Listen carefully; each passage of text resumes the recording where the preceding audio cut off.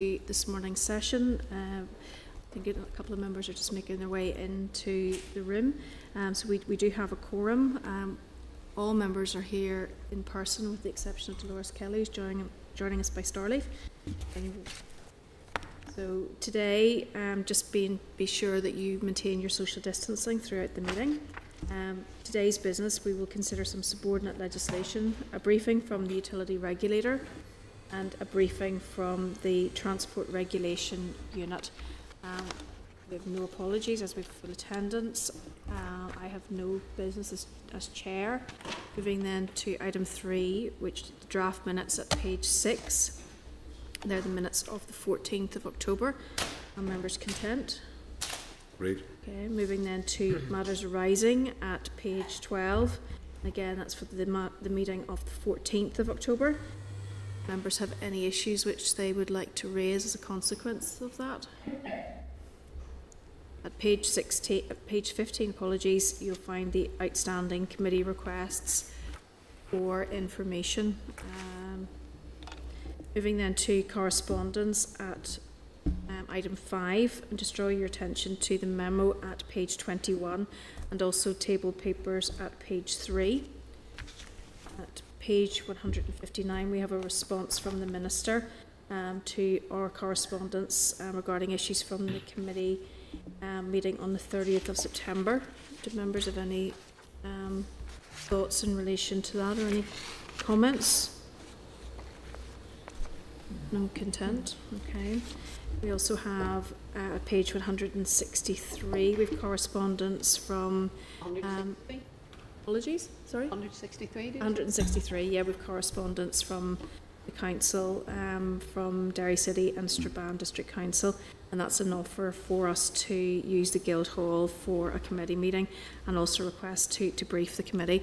And I would like to be in a position where we can take up that offer, but unfortunately, Whenever. just where we are at the moment. But certainly, um, when um, I suppose restrictions are are lifted, that we will try to make our way to, to the northwest, I think it would be important to do that.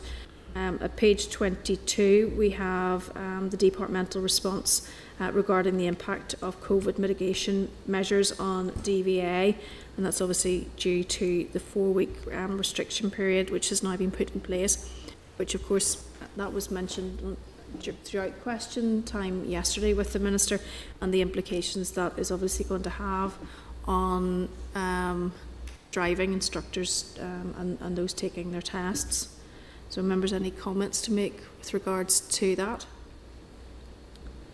Okay. Um, there was obviously an issue in relation to the, the minister had mentioned um, how um, staff were going to be reallocated because there were those who had a dual role who were going to be moving over from MOT testing to um, to being driving full-time driving instruct driving exam driving test examiners um, so it'd be interesting maybe just to get some information as to whether that's going to have a direct impact on MOTs and allow for more MOTs then to be to be um, um, yeah. processed during that period of time. Um, because I know that they were in a, the process of obviously recruiting additional staff to, to test vehicles too. So maybe that might ease that pressure. Okay, uh, members, anything else they wish to um, note from the correspondence? Mr. Muir. Thank you very much, Chair. Just to note, I received a piece of correspondence which was um, an allegation of in terms of declaration of a conflict of interest. I don't know whether the uh, committee clerks received that as well, just to confirm that it has been received.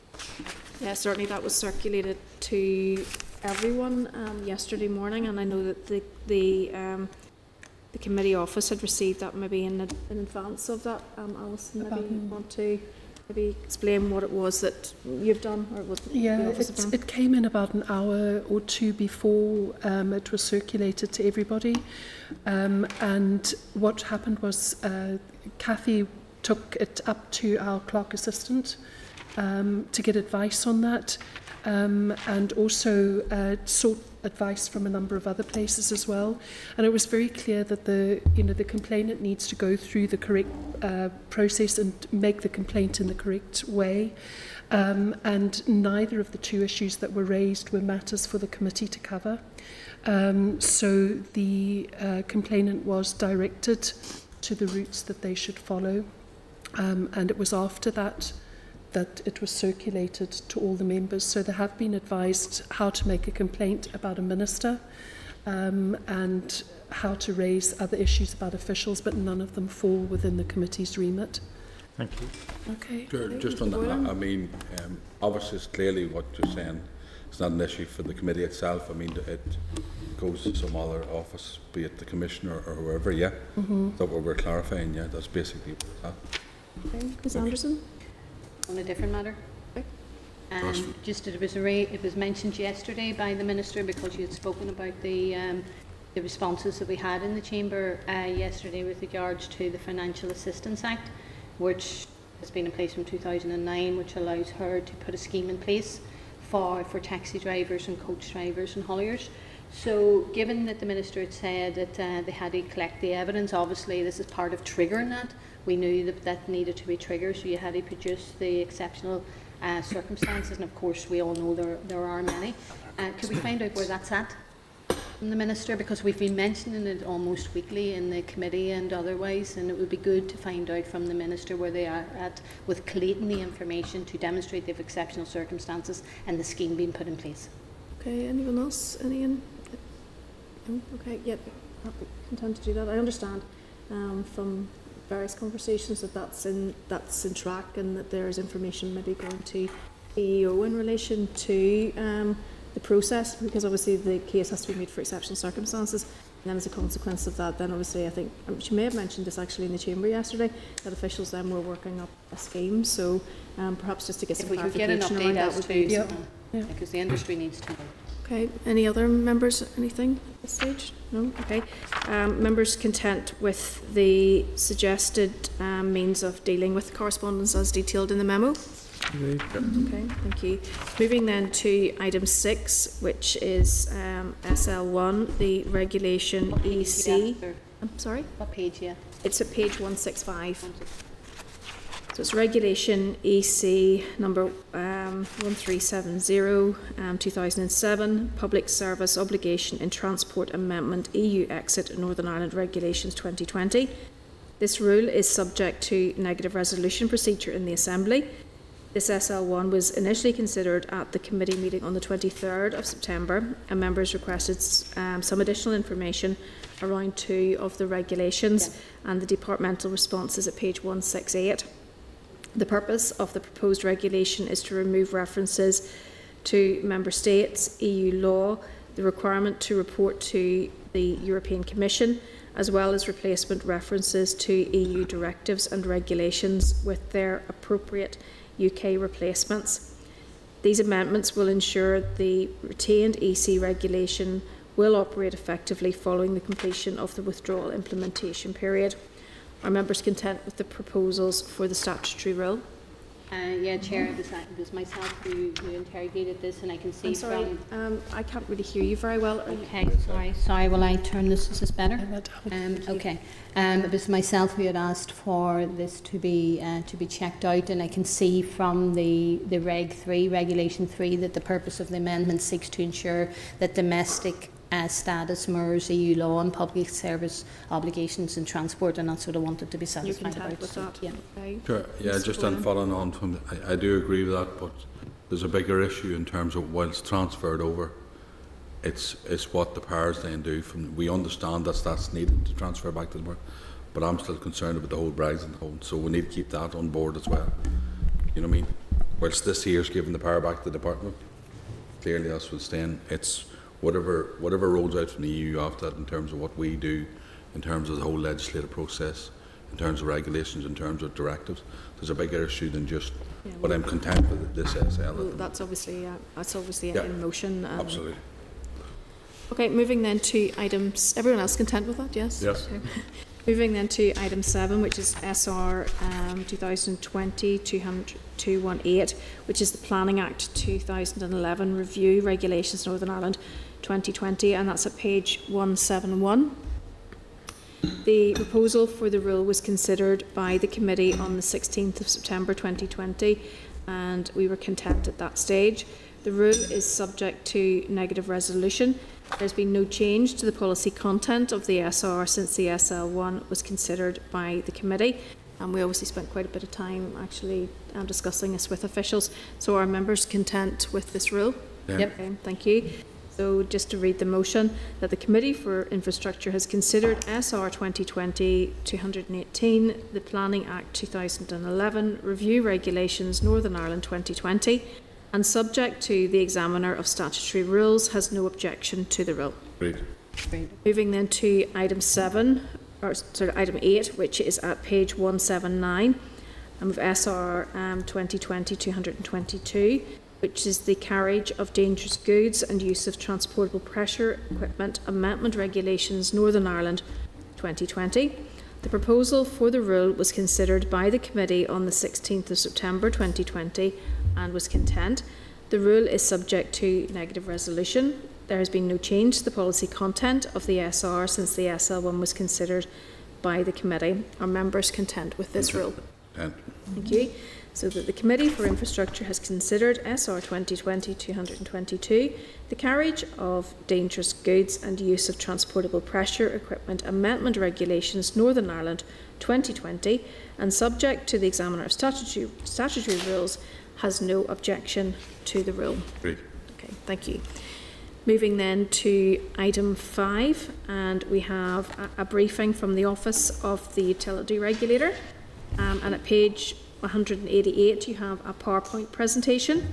And at page 199, we have the Northern Ireland Utility Regulator 2019 to 20 annual report and accounts. Just to remind members that um, Hansard will record the meeting. And we're going to welcome to our meeting um, Tanya Hedley, who is Director of Compliance and Network Operations um, from the Utility Regulator Northern Ireland, and Mr John Mills, who is Head of Network Price Regulation, again from the Utility Regulator in Northern Ireland. Um, you're both very welcome um, to our meeting this morning. Um, thank you for joining us, and if you would like to um, make your presentation, and then members will follow up with some questions.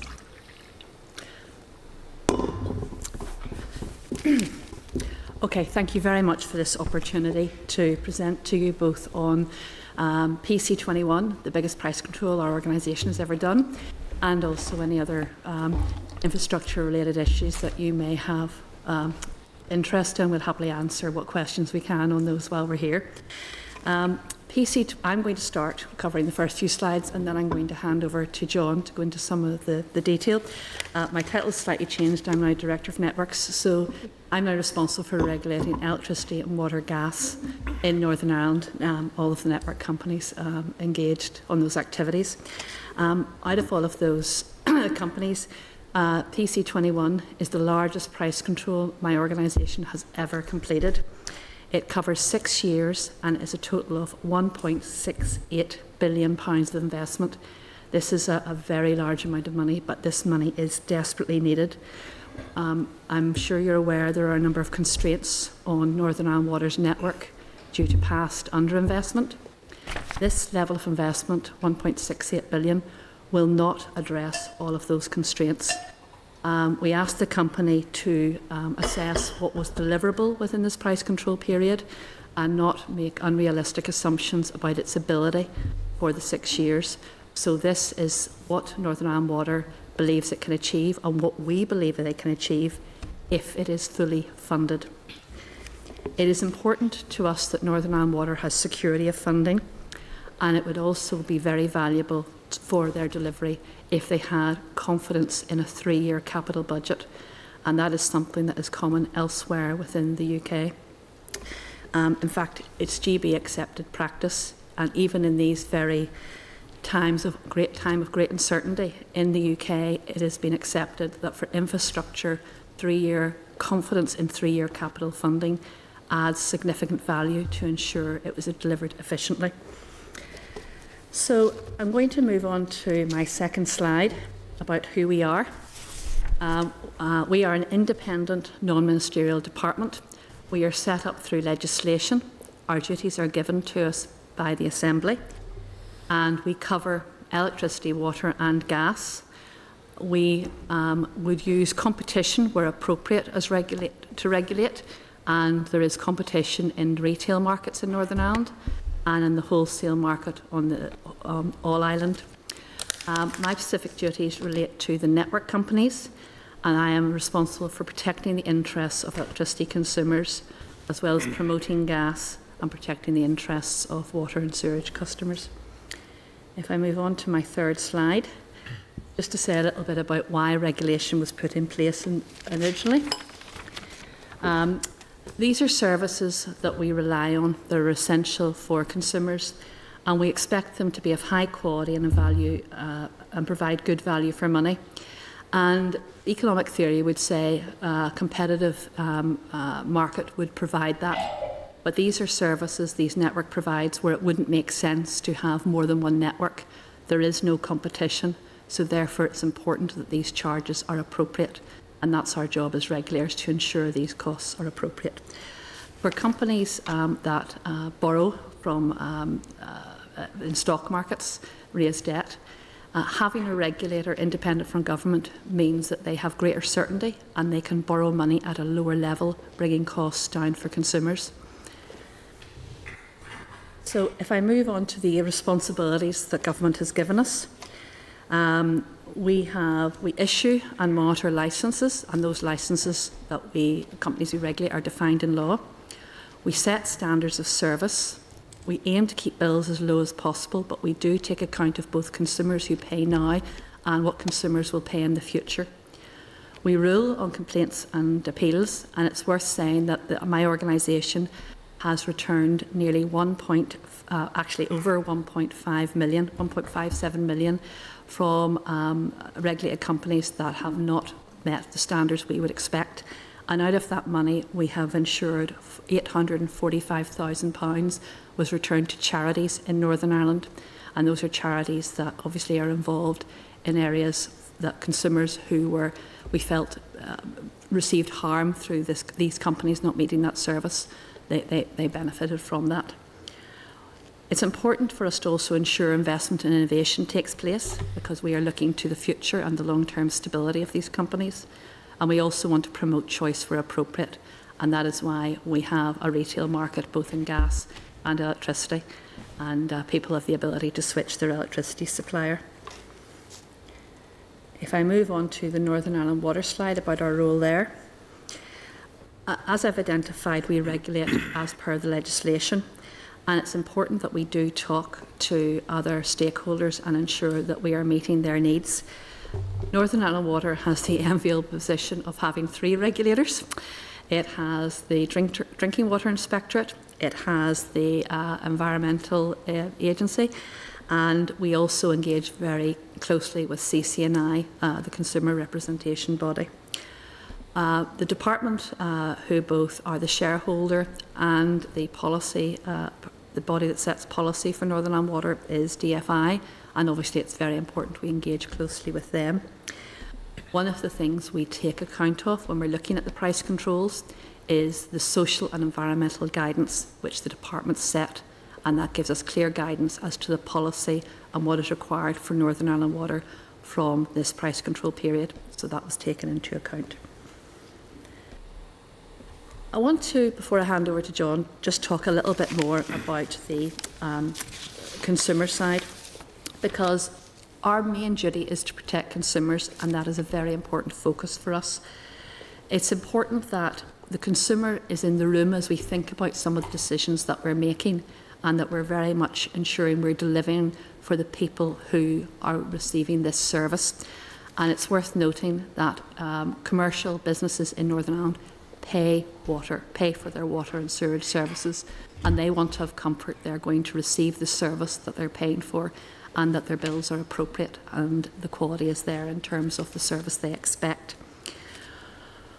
There will be, there is ongoing change. We are very focused on the fact that um, consumers in our society's needs are changing. Um, we have a programme looking at consumer uh, best practice going forward, and we're focused on vulnerability, and the level of vulnerability is increasing in Northern Ireland in these uncertain times and it's important that Northern Ireland Water, when it's serving these customers, takes account of their specific needs. It is not a blanket service, uh, fit one uh, box fits all. Uh, they need to be take account of, of individual needs. So we'll be looking for them to build on the consumer engagement and the consumer service they currently provide and improve that through this price control period. We also are looking for them to continue to improve uh, their level of efficiency and the costs and also deliver things like the Living with Water programme, which I'm sure you're aware of, which addresses specific issues associated with Belfast. We will monitor Northern Ireland Water through this price control period, as we have through past price control periods, and we produce an annual cost and performance report looking each year at how they perform, and that is something the committee might be interested in in the future.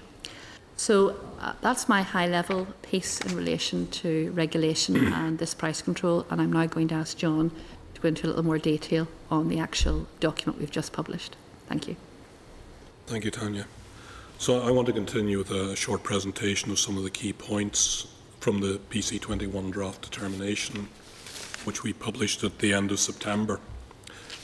The determination provides us with an assessment of what Northern Ireland Water can deliver over a six-year period from 2021 to 2027 and at what cost. I'll start with the um, plan from the consumer perspective and then just move on to look at uh, information on operational expenditure and capital expenditure.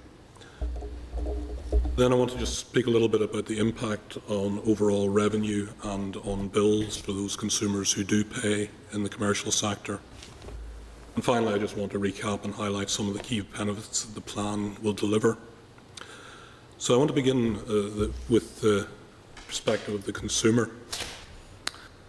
Price control is underpinned by consumer engagement, which was developed in conjunction with the Consumer Council, the Department and Northern Ireland Water included consumer research by Ipsos Mori, focused on deliberative research, which is really a structured conversation with consumers rather than trying to measure numbers.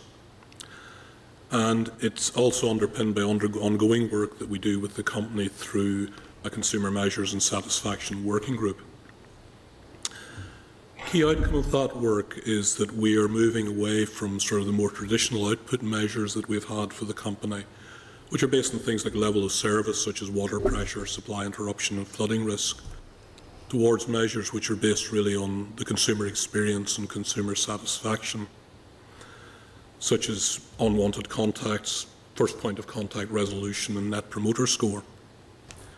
Now, we have continued to set targets for level of service and for the delivery of outputs such as upgrades of treatment works and activities such as the replacement of water mains. But the new measures that we're promoting through this price control are intended to drive sort of continuous incremental improvement in customer service, which is based rather on sort of large surveys of consumers, but instead on actionable data, which comes from Northern Ireland Water's day-to-day interaction with their consumers. And the final point I want to make on the consumer perspective, and just reiterate something that Tanya said, is our work in vulnerable consumers. And it's a key aspect of our ongoing consumer protection programme. And we will begin to develop relevant targets for Northern Ireland Water in this respect as the work comes to a conclusion. So the next thing I just wanted to turn to was operational expenditure, and we've given you a slide which shows the profile of operational expenditure back to 2007 and then taken forward into PC21. And it can be used really to emphasise a, a number of points. Firstly is the reduction in Northern Ireland Water's operational expenditure since our first price control in 2010. The company has continued to deliver improved efficiency over that period and has caught up a large part of the gap relative to comparative companies in GB. And in PC21, we expect the company to continue to enclose an efficiency gap which we estimate is 8% of cost relative to upper quartile companies in GB. And also then to deliver an ongoing level of efficiency improvement as well.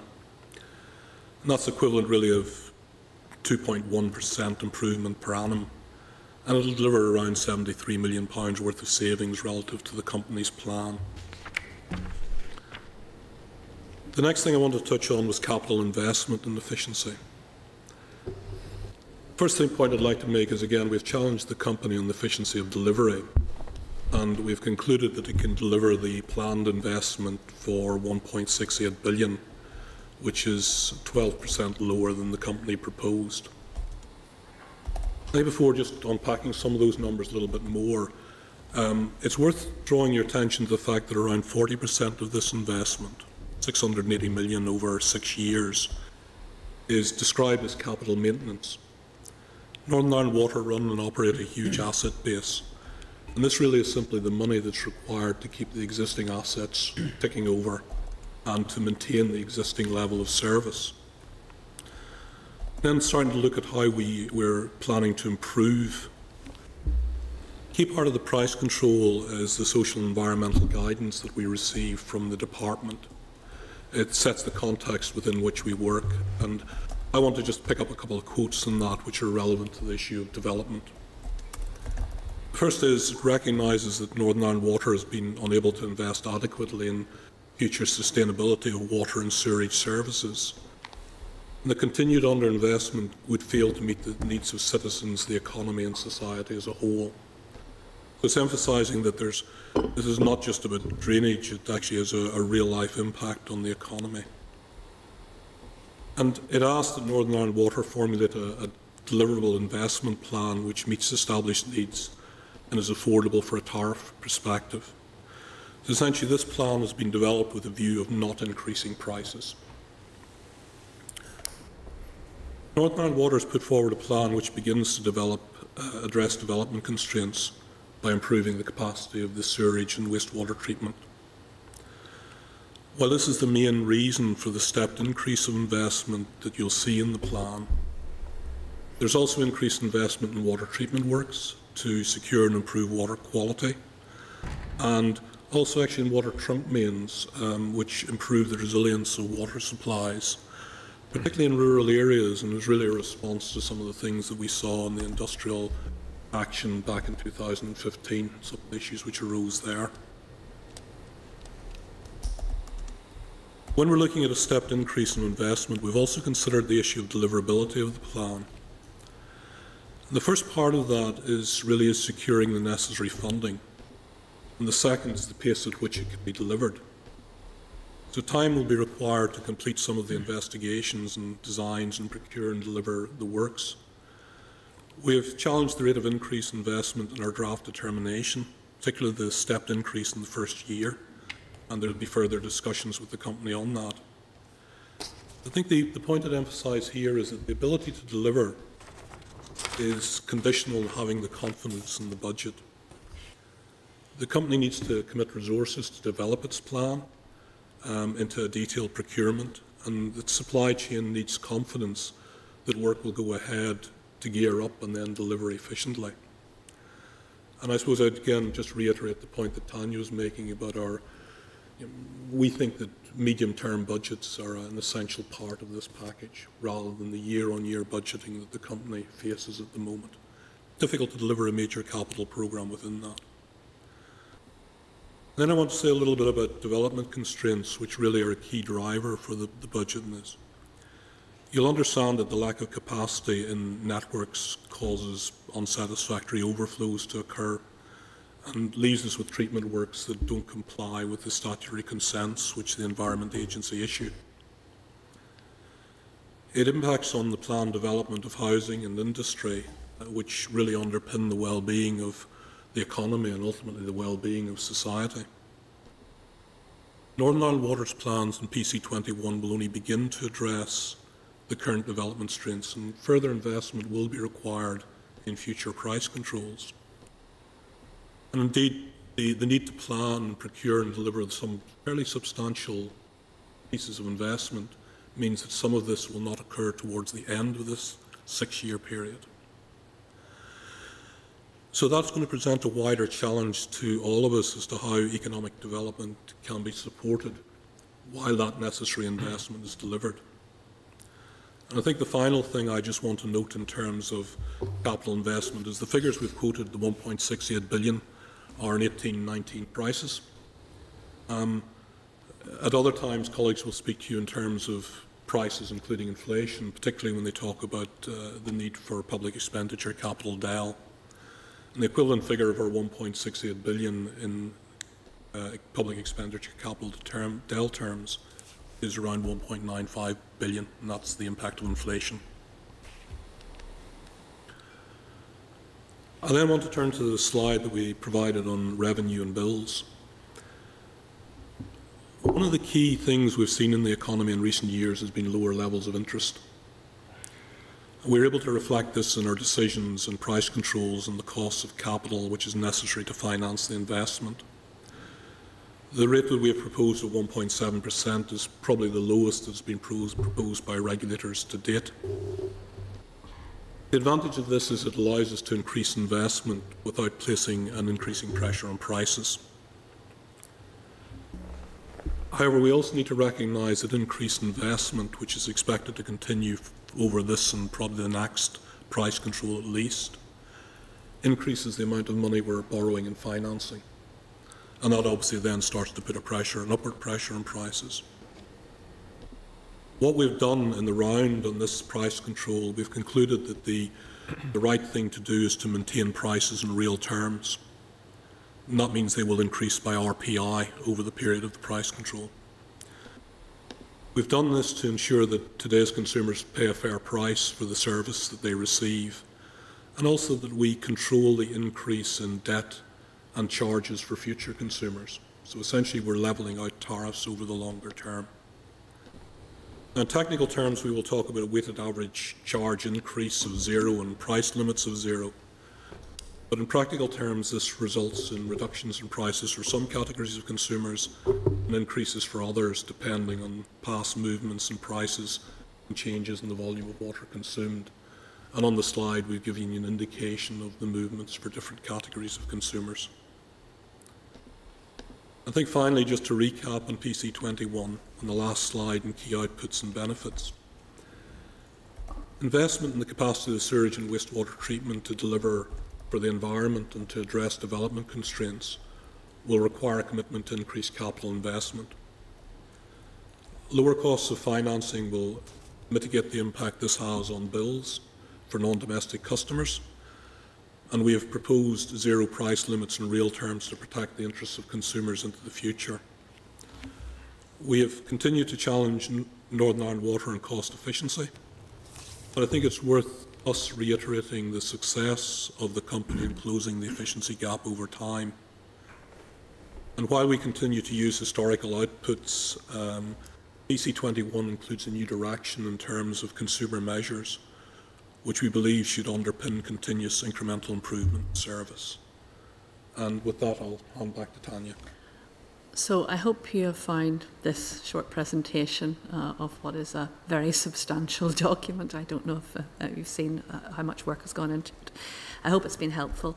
I want to flag that we have not provided any extra money uh, in relation to Brexit um, though we have sought assurances from Northern Ireland Water, which they've provided to ourselves and other regulators and the department, that the risks associated with that are managed. We also haven't considered if there's any additional costs because of the COVID uh, uh, epidemic. The submission for the business case was pre-COVID, and further consideration may need to be given uh, as that works its way through in terms of Northern Ireland Water's processes. Um, I hope that the main message I, I, I, really want to land with you is that it's important that Northern Ireland Water is funded to deliver this essential service for consumers. And um, we would uh, ask you to give consideration to ensure there is security of funding going forward. Thank you. Thank you very much, and thank you, thank you for that presentation. Actually, two of the questions I was going to ask was in relation to Brexit and COVID, and that's obviously been addressed. And I'm mindful that um, all members actually have indicated to ask questions, so I'll try to be brief. Um, one of the main issues around all of this is deliverability, and, and, you've highlighted that particularly well. And obviously, that's in relation to securing the funding and also the pace of delivery. Um, you mentioned the discussions that you had with the company. What discussions have you had directly with the Department of Finance um, and obviously the Minister for Infrastructure? Well, I haven't personally met the Minister for Infrastructure. Uh, You may be aware we are uh, sort of, um, Jenny Piper is our CEO and she uh, ends uh, in a, a week's time and John French will be um, taking up the role on the 2nd of November. Otherwise, uh, we would have the CEO present for this uh, this this uh, presentation. But um, we have very good governance structures that um, really uh, I, I consider world leading in terms of how we engage with key stakeholders with uh, an output group which meet to talk about what we need and what needs to be delivered with um, both the uh, water quality, um, drinking water inspectorate there and the environmental agency and CCNI as well as the department. So therefore we are all very much aware of what is important to the, the different groups and, and come together with an understanding of what is required from Northern Ireland Water to ensure that it meets all its legal obligations and, and the department is I say, in the room for those discussions as well and is very aware of, of, of what everybody's position is as we go forward.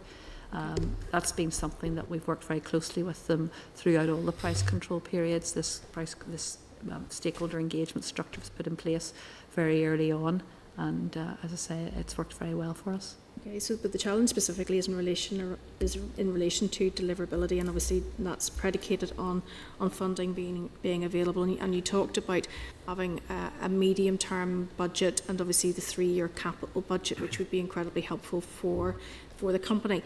Um, obviously, that lies specifically with um, the um, Department of Finance um, and probably the executive, I suppose, collectively. It's really discussions in relation to finance. I suppose I'd be quite interested in if if you've had um, anything specific around um, we, we, budgets. We, we, we, we have specifically engaged on budgets uh, through every price control period. I personally would, would be talking um, to the um, Perm Secretary and, and dep deputies about this because it's such a key issue for us. We're very much aware the Living with Water programme is also within this, this money and there's been engagement. We're part of the Living with Water programme board and are engaged there as well. I'm also on the Belfast City Council Sustainability and Resilience Board because they have obviously an interest in the, the water infrastructure they have within Belfast and the particular constraints that are there. So yes, this is something that um, obviously I'm emphasising it here and we would continue to engage with anyone who we can get to listen uh, about the importance of funding this. Water is a foodstuff. It's, you know, it falls from the, the, the, the skies but when it's coming from a tap, the quality has to be of that standard. Northern Ireland Water is the biggest user of electricity in Northern Ireland as well. They have bills to pay, and if on top of that, we want them to develop further infrastructure to allow further economic development in Northern Ireland. They have to be given the money to actually to build what is required. Okay, and, and, and despite those challenges, um, you did mention that um, the 1.68 billion was 12% lower than the company itself had proposed. Yes. And that, that comes, if, if you want me to sort of touch on how we do that, that comes partly from um, challenging it using benchmarking against GB companies. I mentioned the sort of 680 million that's spent on capital maintenance. We derive that challenge through benchmarking. We also then uh, use a reporter who looks at the company's plan and has challenged some of the costings that the company has put forward, particularly around the additions for risk um, within the plan. And the final thing we do ourselves is we look at the plan in detail, building on the, the information that we have of historic costs of the company, um, and then challenge the company against those historic costs. And some of those areas where we challenge against historic costs are simpler than others. So where we know, for example, the rate the company has spent on replacing water mains, we would expect it to carry forward into the future it does become more complex when we're looking at things like sewage treatment works, which are really bottom-up estimates. Okay, um, and I, I'm, trying, I'm not going to get you involved in a political argument, but has uh, have you considered um, the various models or different models um, of funding for Northern Ireland Water, which may assist them throughout? This is not our role. Our role is very clear uh, and identified in statute. Um, our position is we want to see security of funding. The model is a matter for uh, government policy. Um, the comment that you made in relation to the, um, the constraints on development is, is, probably is quite worrying in the fact that um, we have over 100 um, towns and villages now that there are constraints on and obviously the issue around um, as we're moving um, through COVID and hopefully then out of COVID, obviously, regeneration is going to be, be vital for the economy. And to hear that it could be towards the end of the six-year period before um, some of this development will be addressed and perhaps then moving into the next price control period is of concern. And I'd agree, and that, that's why we're highlighting it. Um, as was said in the quote from the Social Environmental Guidance, there has been an issue of constrained funding for a number of years. So we really are trying to play catch up now if the budget is available. But even at a practical level, it does mean that those development constraints won't be relieved towards sort of the second half of the price control and towards the end of it. And we also made the point that this price control won't relieve all development constraints. And that really was the purpose of my comment, that we, we all have an interest in working out what we do in the meantime um, while those constraints exist. They're, they're, they won't be removed for some time. Okay. Uh, my final question is just in relation to the final slide that you had around improved efficiency, where you say that by the end of price control, Northern Ireland Water will operate at comparable levels of efficiency to similar companies in England and Wales today. Um, how much behind those companies are we talking? I mean, is this considerable or is it manageable, the, the issues around efficiency? Eh, I'd, I'd quoted uh, an efficiency again. I'm sorry about the, the complexity I throw into this sometimes, but an, an 8% uh, gap with the upper quartile companies in GB. So they are behind, but not very behind. And I, I did in my final comments say we need to recognise the improvements that have been made by the company since 2010 in improving its efficiency. They are significant. Okay, thank you. Mr Boylan. Thank you, Chairman. Thank you very much for your presentation. And Chairman, worried that all- after the training session this morning, I'm worried that all our members want to ask questions, so we'll try and be precise. Ju- Just in terms of you- the, your office this year, I mean, how has COVID affected utility regulator and the operations of this year in Well, particular? We- We're quite lucky. The nature of our work involves a lot of sitting in front of spreadsheets and writing documents, which is something that's very easily managed from a a home working environment. We've actually been, the majority of the staff are working out of the office and will continue to work out of the office. But uh, in some areas, productivity is increased because obviously if you're sitting and there's just you and a computer and work and you're, you know, you, you're not disturbed by people chit-chatting around you. The areas that I suppose where we would have uh, more difficulty is this sort of engagement with stakeholders because a key aspect of our job is talking to our stakeholders and ensuring that uh, we understand what their expectations are and what they need, their needs are from the regulated companies. But um, I've spent a lot of time on Zoom and I'm getting much more proficient at it. There's a bit of a benevolent dictator in some of the meetings, but uh, we, we, we're, we're, I would say we are continuing to be effective and continue to provide the protections that consumers both expect and need from us. Okay. And in terms of your annual budgets, has it, where are we at with it? Has it changed over the years or where, can you comment on it? There were increases because of a huge step change in work relating to the uh, I-SEM project, which is now um, uh, incorporated into the wholesale market. And that was a requirement of European legislation that we made significant changes. So there was no option, that programme had to go ahead. And it was a very significant piece of work because uh, we were redesigning the entire electricity market to meet European compliance requirements. And it's now up and going and, and uh, delivering for consumers. Okay, and just uh, two more quick questions, Chair. Uh, on your annual report on the council, I just want to get the page here, please. I may. Um, it says in, in terms of the, the responsibilities to page 211, in doing so, the utility regulator shall have regard to, among other things, the interests of a number of individuals, and one of those are people in rural areas. Mm-hmm. And I just, because John, I know you'd mentioned there about Yeah. terminology like new direction in terms of the PC21. I mean, I know in particular border areas, but generally in rural areas, there's a number of areas that don't even have a water main uh, coming up some of the roads. I mean, they may connect half a mile across a field or whatever. And, you know, in, in terms of that, and I, I appreciate what you're agreeing, but has that been any part of your conversation? Because you're saying we need to look after rural people. So, in terms of this new programme, has there been a new direction in that, or can would The one, the one example that I that I'd highlighted was the work that's been done on some of the water mains. Um, so you'll know from the past from the industrial, industrial action issue that happened back in 2015. Uh, a number of small water treatment works went out of service in the west, for example. And because they were relatively isolated and the company couldn't resupply into those areas, um, people lost water you know, for a number of days. And one of the things that we find when we talk to people about the water services, everyone says it's fine, provided it works. And if it doesn't work, you very quickly notice it.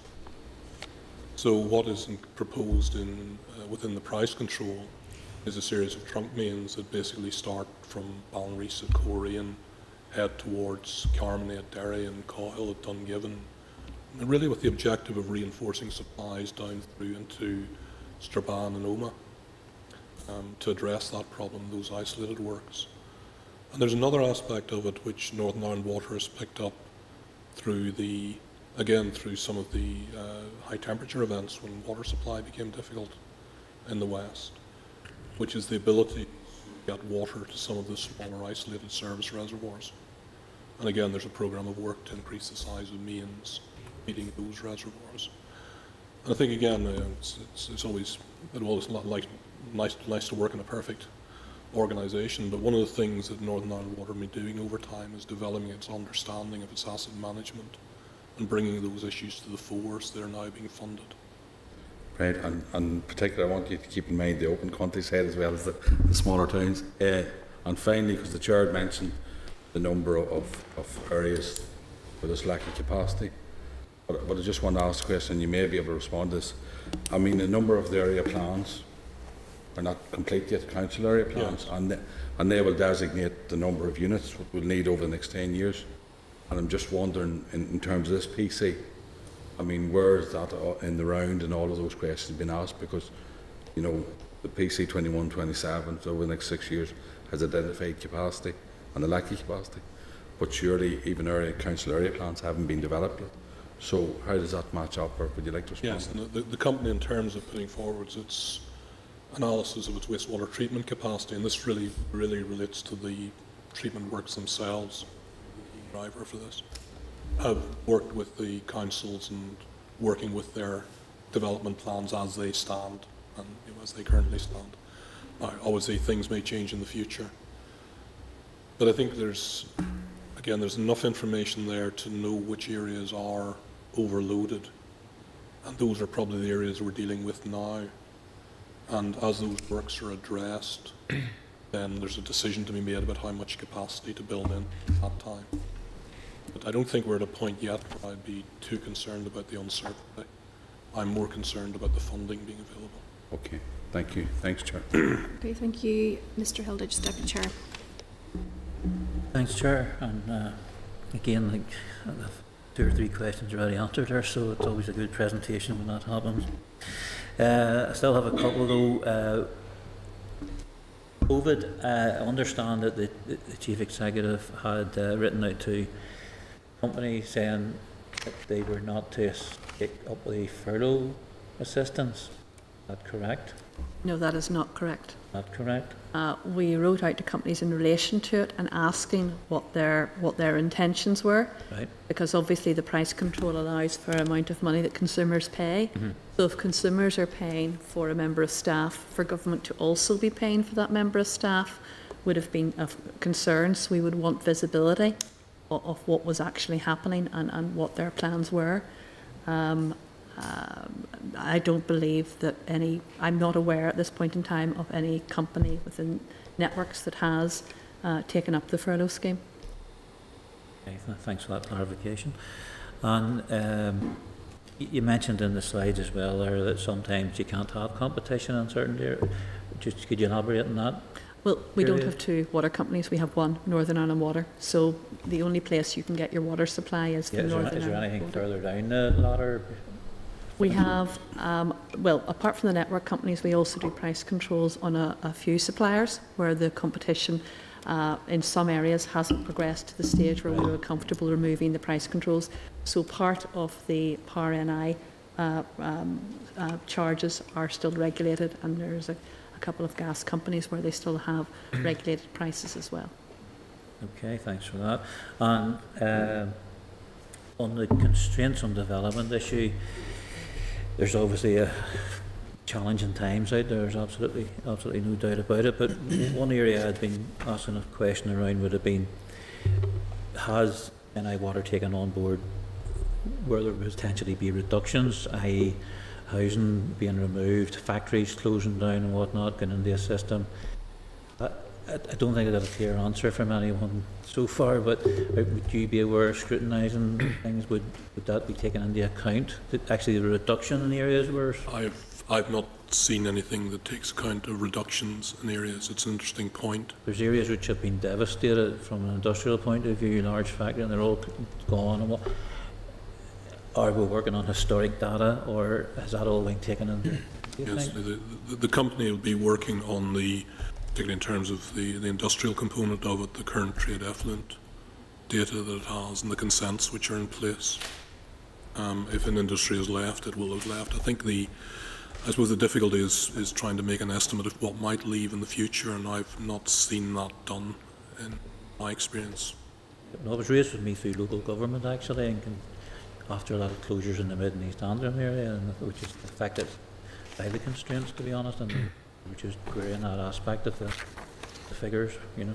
So, okay, thank you. Okay, thank you. Um, Ms Anderson. Thank you, thank you very much. Um, thank you, Tanya and- and John, for the presentation.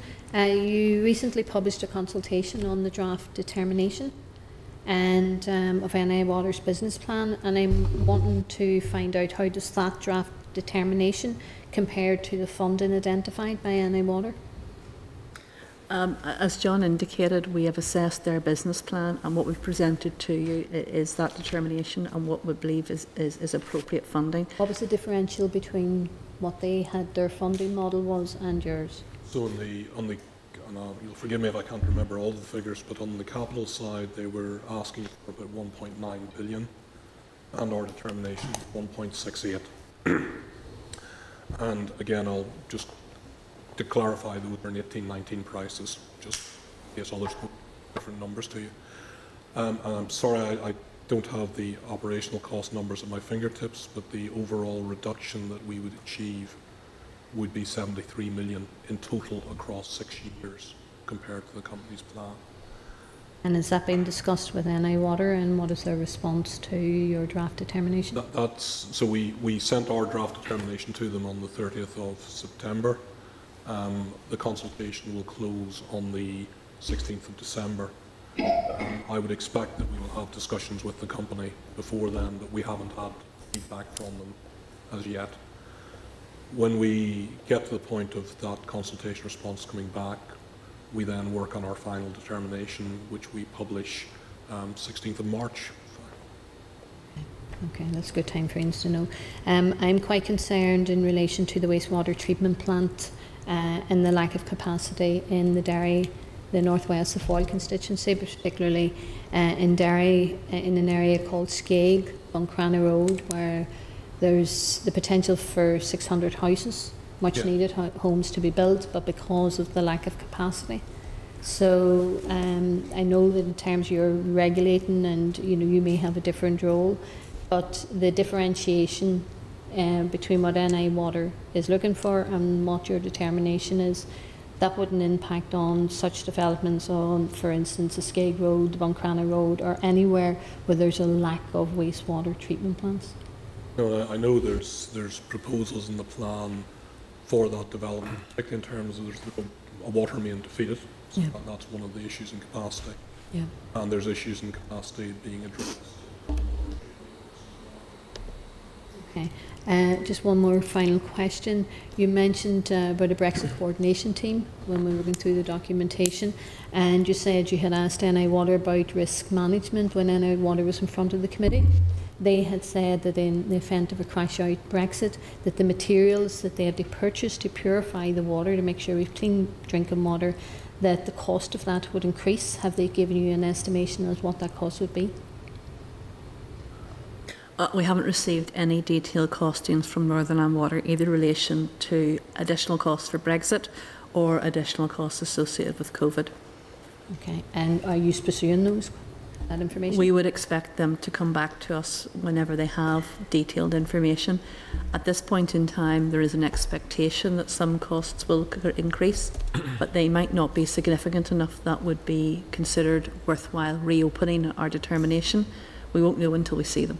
I think this committee would like to hear that because they give us the impression when they were talking to NI Water, when they were presenting to us, that there could be a, maybe a significant increase, particularly in the chemicals that is required for the purification of the water. So any information that you receive, obviously, we would uh, we would like to be furnished with that. Can I ask you just lastly the Brexit question on the All Ireland elec- electricity market? You have. Uh, is is there any concerns about the All Ireland electricity market, regardless? Of whatever happens at the end of the year.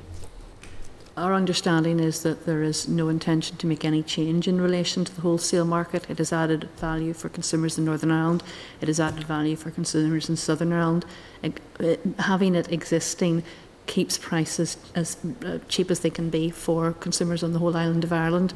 And we are strongly of, of even if there's a crash out Brexit and something were to go terribly wrong and we look like we're heading into Our understanding is the market will continue to function. This is an area that we've looked at and looked at very closely and worked very closely with our colleagues i- in uh, Dublin uh, Commission for uh, Regulation of Utilities, CRU, and uh, it is our intention that we'll continue to do that and we've good to get that hired no direction otherwise and we don't expect to because there's been very positive statements made uh, by um, all political um, uh, areas, both uh, in London and in Dublin, to continue the, the wholesale market because Okay. of the value. Good to get that reassurance. Thank you, Chair.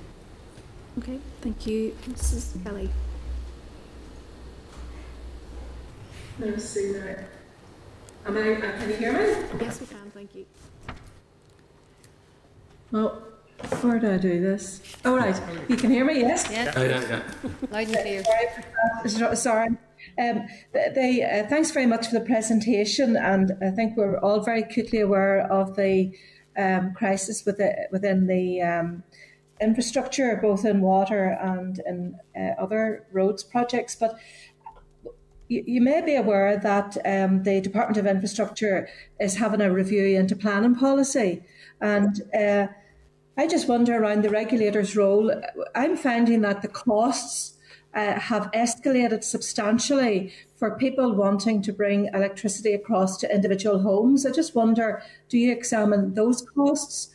Uh, and if so, what are your findings? And the other uh, bit was around the um, enforcement policies, whether it's the department or local authorities, in relation to developers who um, meet the minimum terms in terms of uh, sewage and water connections.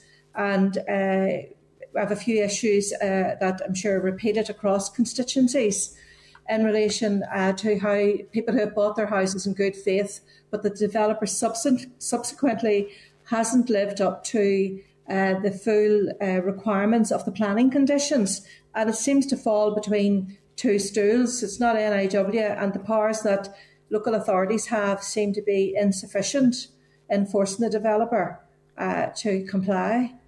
I will touch on the connection costs and ask Jan, John to talk a little bit about the development issue, which we're aware of. Uh, in relation to connection costs, NI's costs are something we regulate. It's part of their price control process. And they have a statement of charges which identifies unit costs for the different activities that might be required for any connection. But each connection is specific to the individual depending on how they're designing it. They obviously do the least cost, technically most technically acceptable, but it will be specific to the connection requested.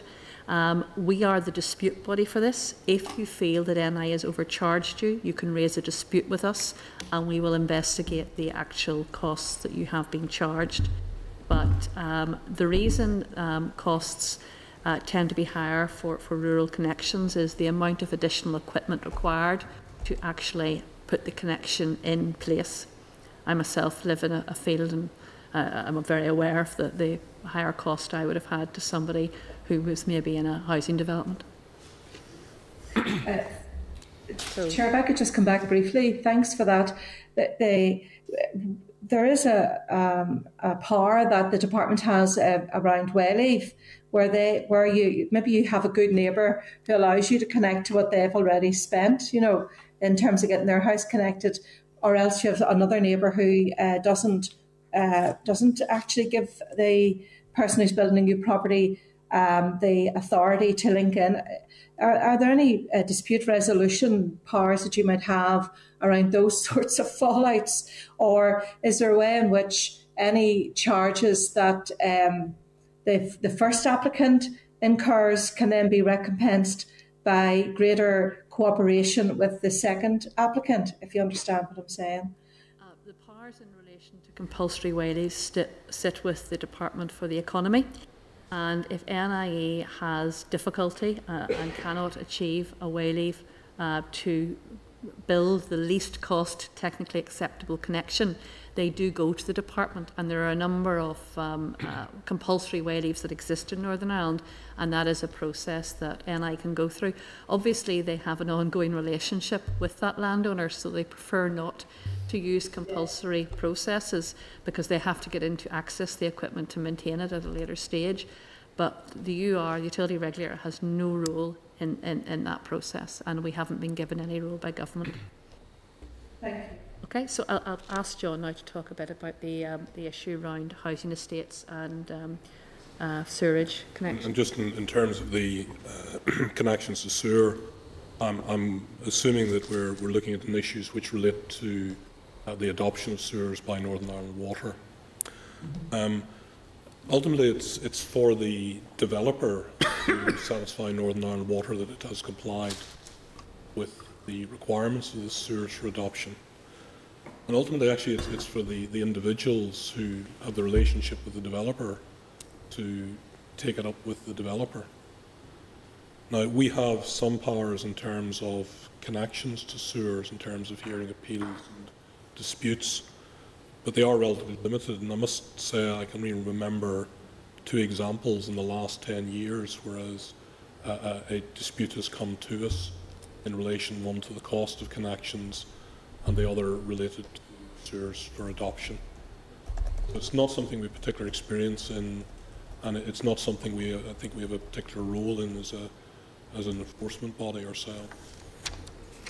Uh, what, do you see a gap in any of the legislation or powers that could be afforded to yourselves to assist in such a conflict or disputes? I think I'd, I'd, always be cautious about us as a body getting involved in disputes which are between an individual and their and a, a body which is a developer that we don't regulate. Um, I think I'd be very cautious about that. Uh, we don't have powers to, basically. We can only do what legislation allows us to do. So, um, if someone's to raise such dispute, which is outside our powers, we would have to uh, uh, say, unfortunately, not. But there is also the Consumer Council Northern Ireland who uh, do engage in these matters. Okay, thank you. Okay, Mr. Beggs. Yeah, and thank you for your, for your presentation. Um, my first query is regarding uh, one of your slides involving uh, bills and, and, revenues. And in it, uh, you indicate that you're expecting to be a reduction of £195 for typical large metered uh, businesses and uh, 20, a reduction of £22 for smaller metered businesses, um, but an increase of £5 in the notional household costs. So my question is, what are the drivers that are going on here? Is it companies with meters being more efficient and environmentally friendly? Uh, and what are the implications for the public purse? It's um, in terms of the way that we, we do the price control, we, we work out the revenue required first, then look at the consumer base that's available to pay that revenue. Um, what you're seeing, I think, in those figures is firstly uh, a slight increase in water consumption in domestic properties, uh, partly possibly related to COVID and people working at home more. And that's part of the reason you see the increase in the uh, domestic notional bill, which is the part of the revenue which flows into subsidy paid for by the department. What you're also seeing then is the, in terms of the small unmetered non-domestic, an increase in, in, in, bill, which in partly relates to the fact that Northern Ireland Water have not increased bills for those consumers over a number of years, and therefore effectively they're lagging behind in the amount of money they paid. So we're basically fixing something which has happened in the past. And then what you're seeing with the non-domestic bills is, re- uh, sorry, the, the non-domestic metered bills is they're the people who are be- sort of benefiting from that reallocation of revenue. And I think it's again it's one of the issues which we've highlighted to other people that we've talked to that we're interested in feedback on on this determination. Because ultimately where you get is to the point where this affects real people. This is a, a process and a mechanism that gets to a rational answer, but it has a real life impact on bills. And we're interested in feedback on the kind of issues that you're raising. So, so the, uh, are you saying the notional cost to both parties i- i- is more realistic in, un, in, in, under this price review than what was there previously? No, I think it's it's no, no, I, I wouldn't say that. Um, but it's it, both are right. Um, what we're doing is reflecting changing circumstances of movements in water demand.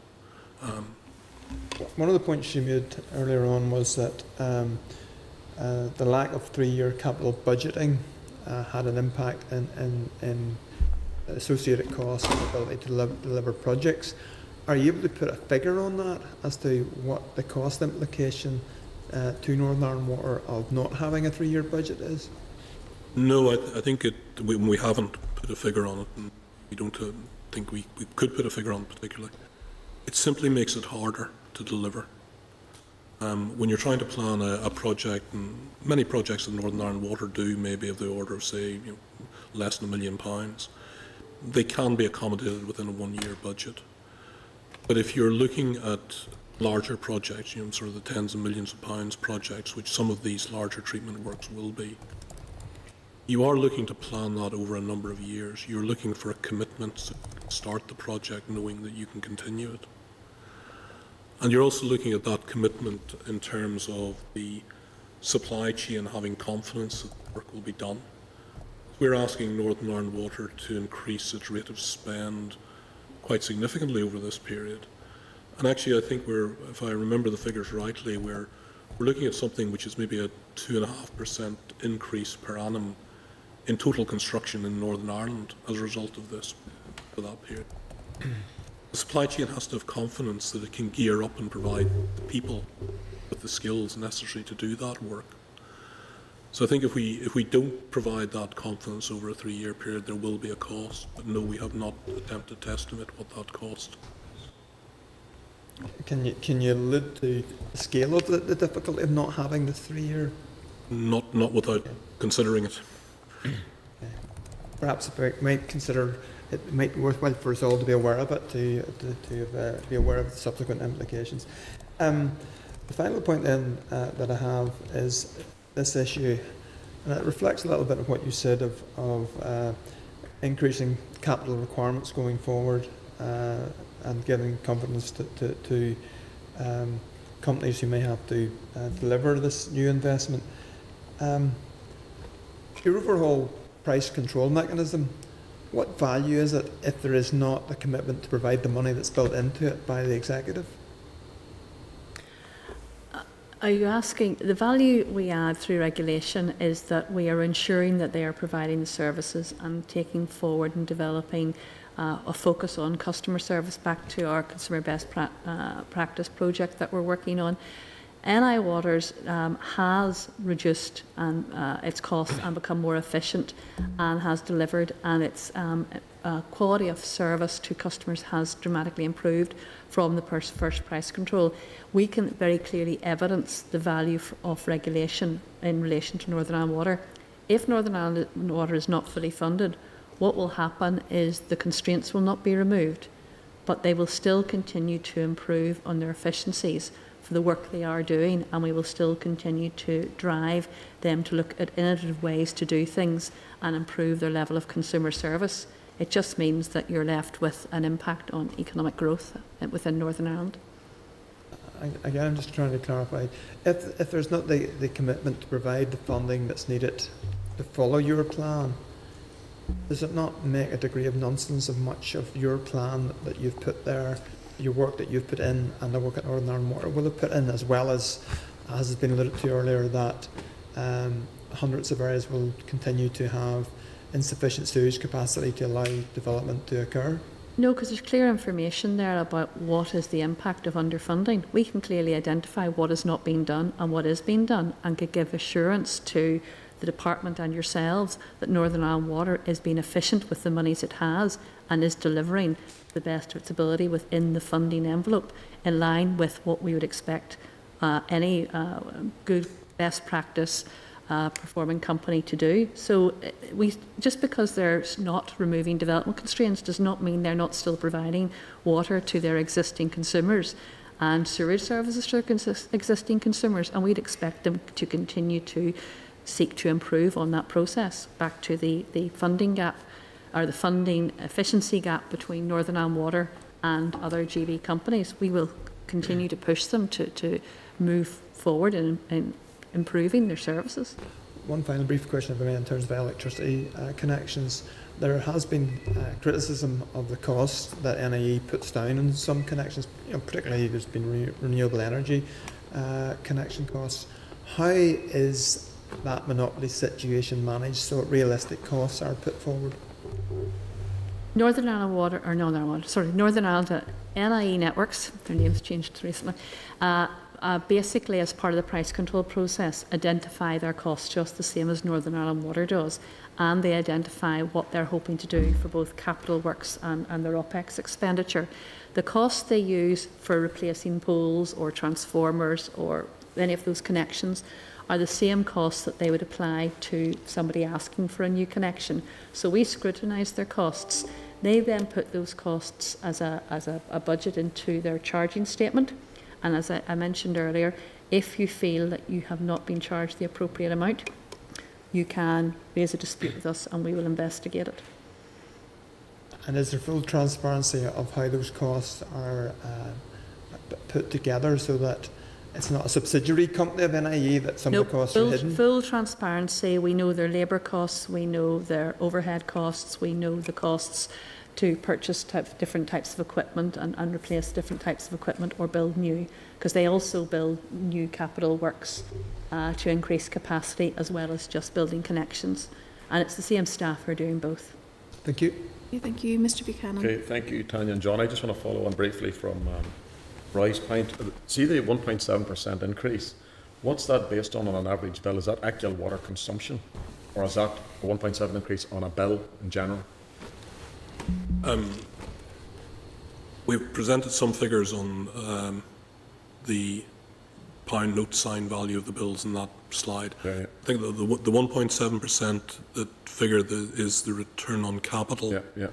Um, which is essentially the cost of debt and equity of financing, not, not the increase in bills. And as I said, we, we're starting from a point of view that our price limits, which are a technical issue which we deal with, are zero. But what we've highlighted in that table is within that zero overall increase in bills, some people pay more and some people pay less. And what is driving that is the movement in the amount of water consumption uh, between various consumer groups. And also, I'd mentioned the fact that some consumers had price increases had not been applied to them in the past by Northern Ireland Water. Um, that small group of non domestic unmetered consumers. And they're the people who are seeing that increase in bills. Um. Second point, and, and Ms Kelly and Mr Beggs has, has touched on it regarding NIE networks, and I'm not specifically picking them out, but there is an, a narrative and there is, you know, uh, in the rural area, whenever a, a, an NIE supply comes into a building, it's it could be astronomical the costs. Are you confident there's enough competition there? Because some of the costs are ex extremely, ex you know, I wouldn't say inflated, but they're too they're too expensive for, for what the customer is getting. Are you confident there's enough competition in that sector, likely to delivering the, the network to the, the, the consumer? The NIE policy for connections is semi-shallow, so you're, you're paying for the new assets that are required because of your new need. Um, we have now introduced a, form, uh, uh, contestability for all connections in Northern Ireland a couple of years ago. And that was uh, because we were aware of, of the interest in this and the concern that there wasn't competition. Mm. And we did that in such a way so that the live companies active in the contestable market in GB could move over here and uh, build connections uh, without uh, having to make substantial changes so that it was attractive for them. And a large number of these independent connection providers have registered in Northern Ireland and some of them are active in the market. So anyone can go and get a quote from one of these ICPs, independent connection providers, for their connection. Uh, I think what people are finding is the costs are, are, are, similar. They're not necessarily saving substantial money. And in fact, I believe some people are willing to pay more to the independent connection provider to get the, the connection faster. You know, because it depends what personally is of interest to you. And that's good. That, that is a choice that is now available. Uh, and we're, we're very welcome of the fact we have contestability. And I would also like to highlight that NI Networks worked very positively with, with us to try and bring this forward uh, as quickly as they could. Uh, so there wasn't anything where they were trying to be protective of this area of work and not allow us to introduce contestability. So uh, the network is set up that um, the infrastructure was built based on original need. So if you're in an area where the infrastructure is not there and you want to, to uh, a connection, you under the current charging policy, you are required to pay the assets that are, are needed. Um, that is something that it's, if, if government wishes that to change, it's within the gift and it's something that maybe DFE can look at as part of their energy strategy. But um, that is the position at this point in time. Okay, thank you. Thank okay, you. thank you. Ms Kimmins. Thanks, Chair, and thank you both um, for your presentation. I suppose a lot of the stuff has been covered, so I've only just a few small points. Um, just in the report you'd mentioned around enforcement, and um, I know you'd said there was a donation of almost a half a million to local charities, and, and it was really just to kind of get a wee bit of an idea around enforcement activity and what, what that entails. Uh, well, we have had um, a, a, number of, we have a very clear documented process. So whenever we consider that somebody might be in breach of licence, mm. um, we would inform them and start a process, but we allow them to come to a, a resolution early on if they're particularly helpful and sort of put their hands up and go, yes, we will address this. Yeah. And what we then do is we seek them to make a charitable donation. It's not to be in a way that they get publicity for it, because obviously uh, we've found a failing and they've admitted to it, and this is a redress, mm-hmm. so it's not something they should necessarily get positive publicity for.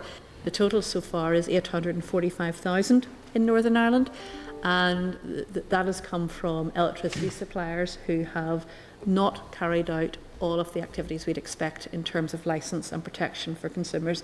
The issues we have are when people try to switch, it maybe hasn't been working effectively, or some of the, the marketing processes haven't been uh, in line with what we would expect in terms of license compliance. Uh, we have had one network company where we carried out an enforcement uh, because it turns out that they had allocated uh, monies inappropriately and um, uh, that was our, our first enforcement. So I mean, our job is, is not necessarily that we want to enforce licenses. We want regulated companies to comply with their licenses and deliver value for consumers. So enforcement is a last step, a last stage, but it's something we have in our tool belt and it's something we're not afraid to use. Yeah, no, that's great. Thank you, Tanya. Um, and you'd, you'd mentioned around uh, supporting renewables as, as one of the areas that um, will influence the work of yourselves over, the, over your five-year strategy. So it was really just to see, as a utility regulator, how um, you achieve or what, what you do to try and help us achieve a, a net zero um, future and, and how you see that panning out.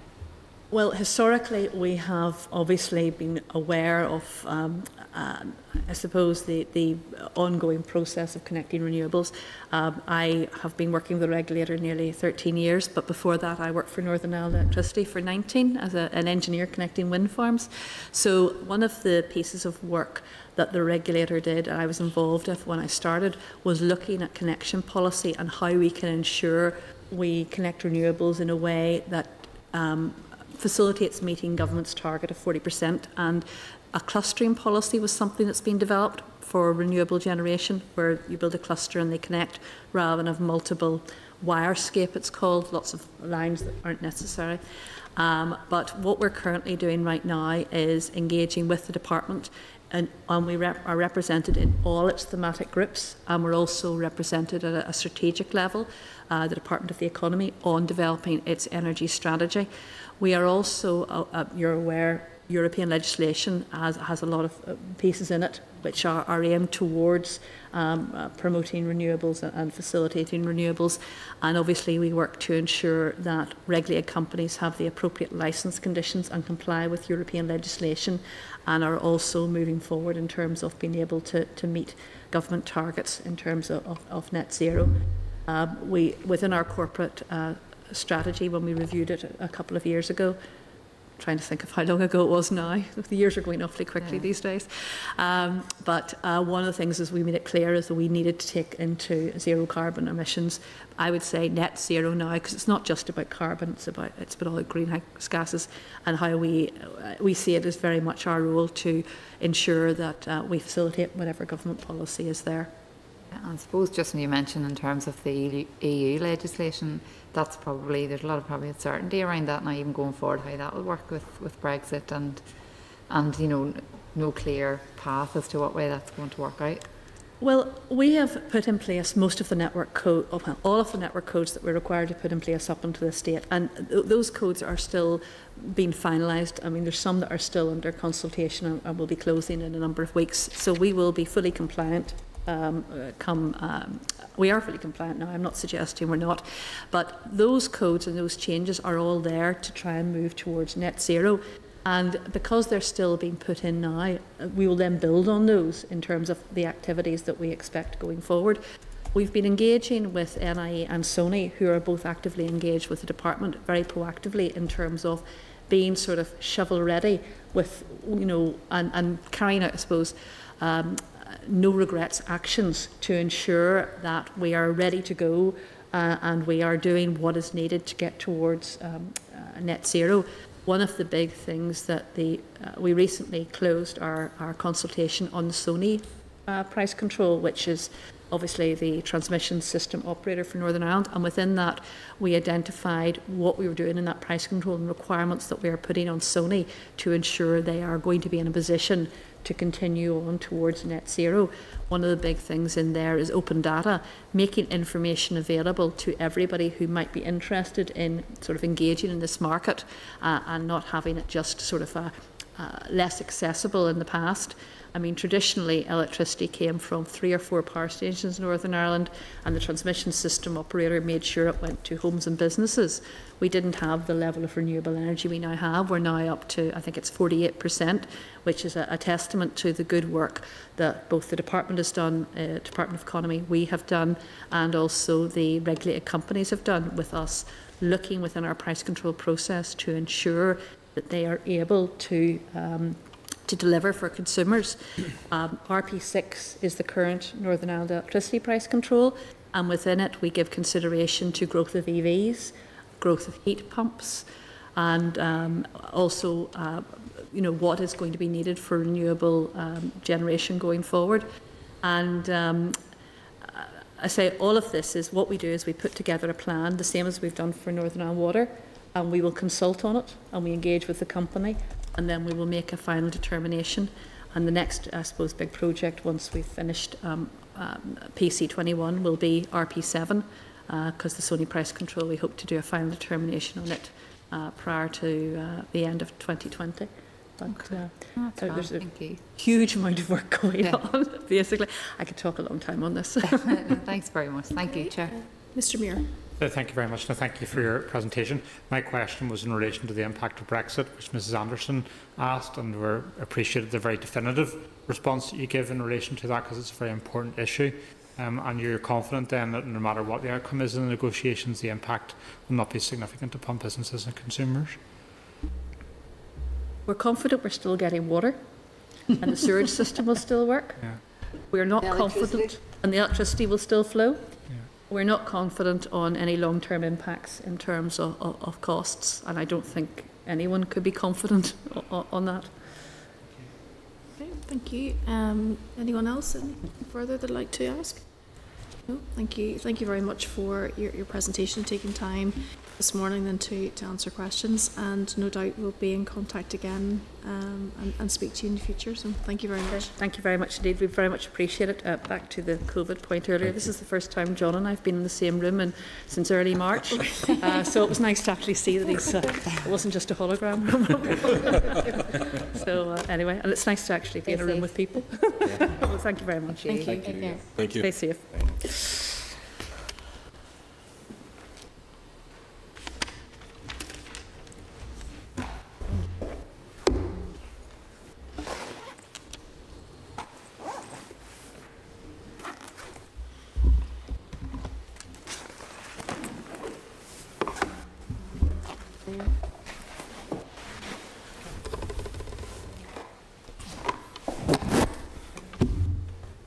Members, anything that you'd like to follow up on as a consequence of that, that session? Anything further that you'd like to follow up with?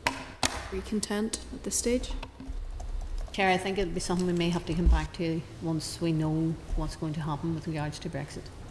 Chair, just on that, and I know it's not, um, it's not their responsibility, but it's probably part of something, and Dolores mentioned that, uh, the issue of connection, the NIE and all. I mean, part of the planning or something, there's some way we need to, to look at that overall connection with, not just a one size fits all. All these parts make up the whole part of the planning process. Absolutely. And, and we just definitely need to look at it, to be fair. Whatever we can do as a committee to try and incorporate all that stuff together, you know. Okay, there, there may be something that we maybe need to do in conjunction with the economy committee um, Yeah. in relation to that. So m- perhaps if, um, if you're content that maybe company staff um, look back on that section of the um, of the session, and perhaps then we could um, write to the economy committee on the basis of that, um, just to see what correspondence maybe they've received as well, and what communication they've had with the minister. In terms of the regulations and all, who's responsible, and then see what we can do It might be useful right across to the departments as It might be useful to explore that just as a, a, a as a cross-departmental piece.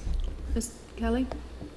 Yeah, sorry, can I, ju- thanks very much for that, Carol, could, could I ask, maybe, it'd be interesting to find out what time is taken, you know, the process, if I could find out from the Economy Committee, just in terms of many requests and just the process, is it a difficult one or uh, one that um, uh, consumers find easy to navigate? Yeah. Okay, members content? Yep. Okay, thank you. Moving then on to item 10 at page 285 of your pack, you'll find the departmental briefing paper for um, the Transport Regulation Unit. Um, just to remind you that Hansard will record the session um, and we'll welcome um, Chris Hughes, who's the Director of Safe and Accessible Travel, and David Mullen, who is the Head of the Transport Regulation Unit. You're both very welcome to committee this morning. Thank you for coming. Um, and if you'd like to open with uh, uh, some remarks, and members will follow with some questions. Thank you. Chair, thank you. Um, so I'll make some brief remarks um, with your indulgence. So um, the Transport Regulation Unit is uh, set up to regulate the transport industry. Its aims are to ensure fair competition among operators so that um, those who are operating legally and fairly are supported and those that are not are addressed and challenged. It's also to improve road safety and to minimise the uh, impact of operating centres on the environment. Um, the department seeks to achieve these objectives through a process of education, which has been particularly important as the COVID uh, crisis has impacted on us.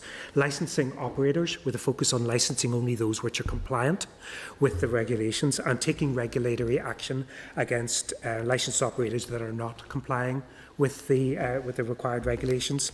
Um, the uh, the paper sets out what the what is required from that, the uh, being of good standing, uh, uh, um, good finances, being of repute, and your establishment. So there are criteria which need to be met to be of good standing. Um, there were a number of historical issues that the Transport Regulation Unit um, historically has been addressing. Um, these have been exacerbated by the impact of COVID 19. So, um, what we had was a, a range of issues which are set out in the paper chair. So, um, we had the issues around um, public hearings. So, um, there was a, a difficulty in getting those. That was uh, coincided with the issue about the skill set required to hold public hearings. Um, there had been a lot of progress on the locations for, for public hearings, which had been going forward, which was then negatively impacted by the, uh, the advent of COVID, um, which set things aside. So um, those issues are, are set out in your paper. Um, we actually have a, an update to paragraph 18, which was obviously at the time. So if you if you would indulge me, um, paragraph 18 of your paper sets out that um, we were looking to uh, we were working through the, the outworkings of how we could hold public inquiries. We actually successfully held a public, uh, a public hearing. Now, it wasn't an inquiry, it was a, a detention hearing um, this day last week, so that took place virtually. So the, um, we have actually now established virtual hearings. Now, that requires the agreement of the person who to the hearing, but we had um, a Deputy Traffic Commissioner from uh, GB who took the hearing and that went successfully. So we've now established that as a mechanism that we can use taking forward. And that's on foot of a lot of work that has taken place post-COVID.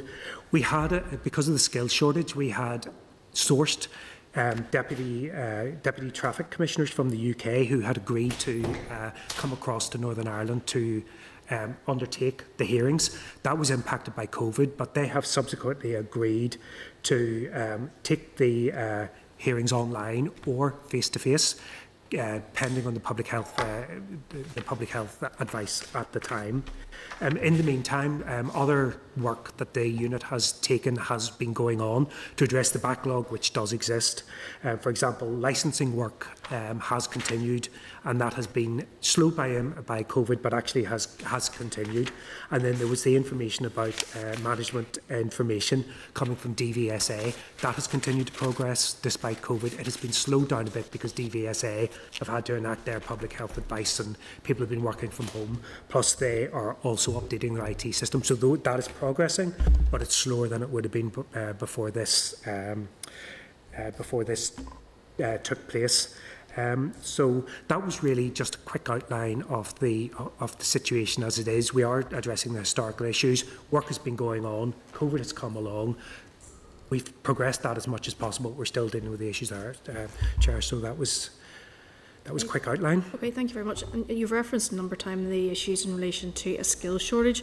What skills are required that are specific to this role that you're finding difficulty with? So, David, would you like to? Yeah, um, the the act of being a presiding officer is essentially a judicial skill, and um, in GB, it's barristers by and large um, that undertake that role.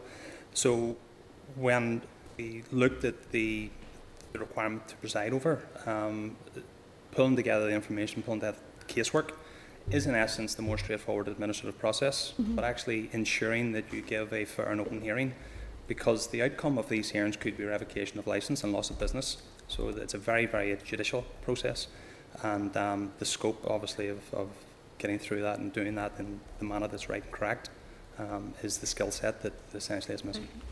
I, I didn't think that there was a shortage of barristers in Northern Ireland. oh no, no, absolutely not. No, no, I appreciate um, that, of course. It, but is there is there is there a lack of is there is there a lack of people maybe coming forward to present themselves to do the role? Is that more the issue no, than actually the skill? What what we really have to do going forward, and we haven't really commenced this process because we're looking really at clearing the backlog first and foremost. Um, long term, there will be a requirement to look at what the role looks like going forward. In terms of dealing with the backlog, we have access to um, presiding officers, experienced presiding officers in GB that can hear these. When we look back at when we started this process, the expectation was it would be a very, very quick turnover, allowing us time then to look at what the future of Transport Regulation Unit looked like. Um, obviously, the impact of COVID-19 has stretched that out. In fact, the original terms of engagement with the Deputy Traffic Commissioners for six months had expired and we've had to renew those. And there has been, because the, the, nature of the process is judicial, there has been criticism from the upper tribunal, not about any of the decisions, but about the the, pro, the, the process that has, that has gone through. So having the skills of the deputy traffic commissioners, they are very, very familiar, and they're very familiar with the process. And as David said, this is and this is a process which can result in people having losing their vehicle or their or their livelihood or their license. So, you know, it's it's one that um, needs to be given the the proper skill set. Okay. Um, now, I know that a, number of years ago there was a discussion in relation to sort of uh, a review, a strategic review of TRU. Where does that actually sit at the moment? Yeah, so we had approached business consultancy services on that, um, and they had a difficulty at the time in terms of putting it into their, their calendar. It's still something that uh, ministers looking to be done, uh, but again, the focus at this stage is about getting the public inquiry backlog, um, getting that cleared up as much as possible, so we can then understand what the requirements are going forward. Um, the backlog, I suppose, is clouding the position because we're looking at a number of around 70 whereas in fact on an ongoing basis we shouldn't really be looking at any more than 12 per year, 24 per year. Okay, but we're in a situation where we have a backlog, we have a lack of personnel, we can't find a location for to hold the, the meetings. I mean, Yeah. there's, there's clearly a problem here that Yeah. Would require a, quite an urgent review rather than something which is sort of kept in view somewhere along the line. Yeah, I mean, there's no question that it is a matter that we want dealt with as quickly as possible. Um, as, as David has said, I, I mean, what we were trying to do was because there's a potential impact on the operation of. Uh, so, whenever we have a backlog of cases, that has two potential impacts. First is that people who are non-compliant with the regulations can continue to operate and undercut legitimate operators. So that is a that is an immediate concern. The second one is that legitimate operators are potentially being um, having difficulties in expanding. So they're, they're so those are of immediate concern. Steps had been taken to to put the review in place, but unfortunately, though, there were the difficulties that stated. It doesn't mean that it's not. We're very conscious of the urgency of it. It's just uh, it's just that while in parallel with that, we have been focusing on addressing those issues which are on the table in front of us. Um, Yes, I, I, I agree with you completely. That it is something that needs progressed as a matter of urgency. Okay.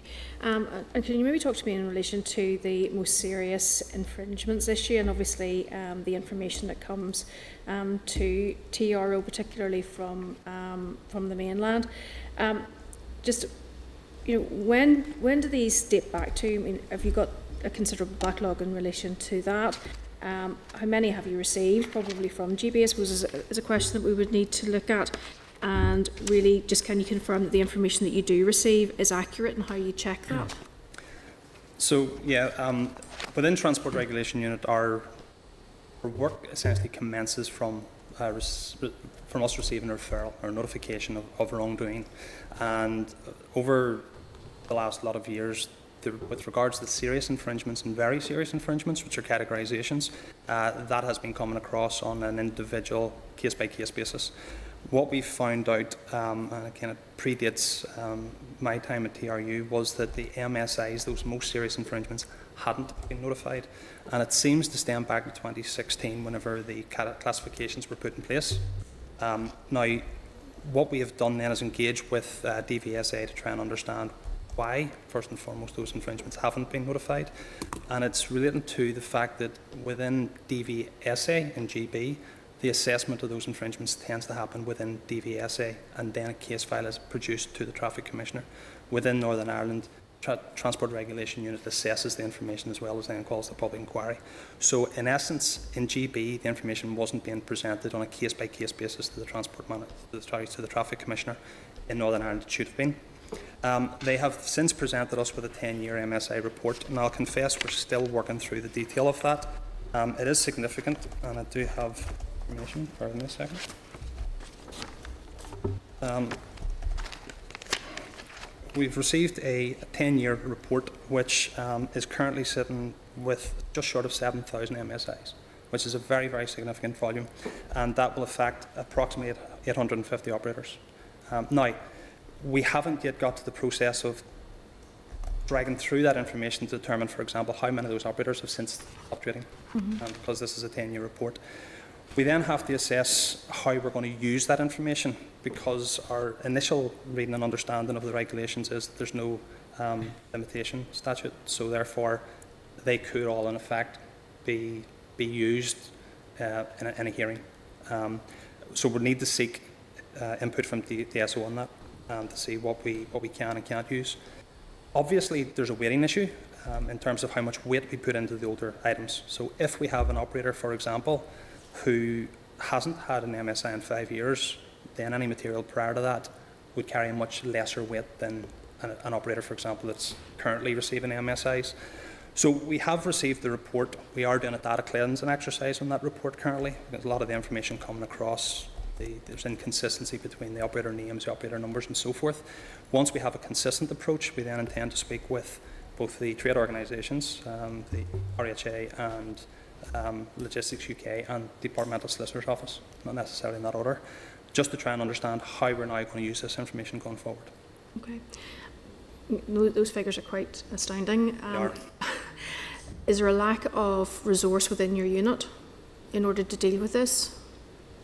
We haven't got to the stage of assessing that as yet. What we're um, expecting to do, if obviously things move forward, is to create a referral on an operator by operator basis.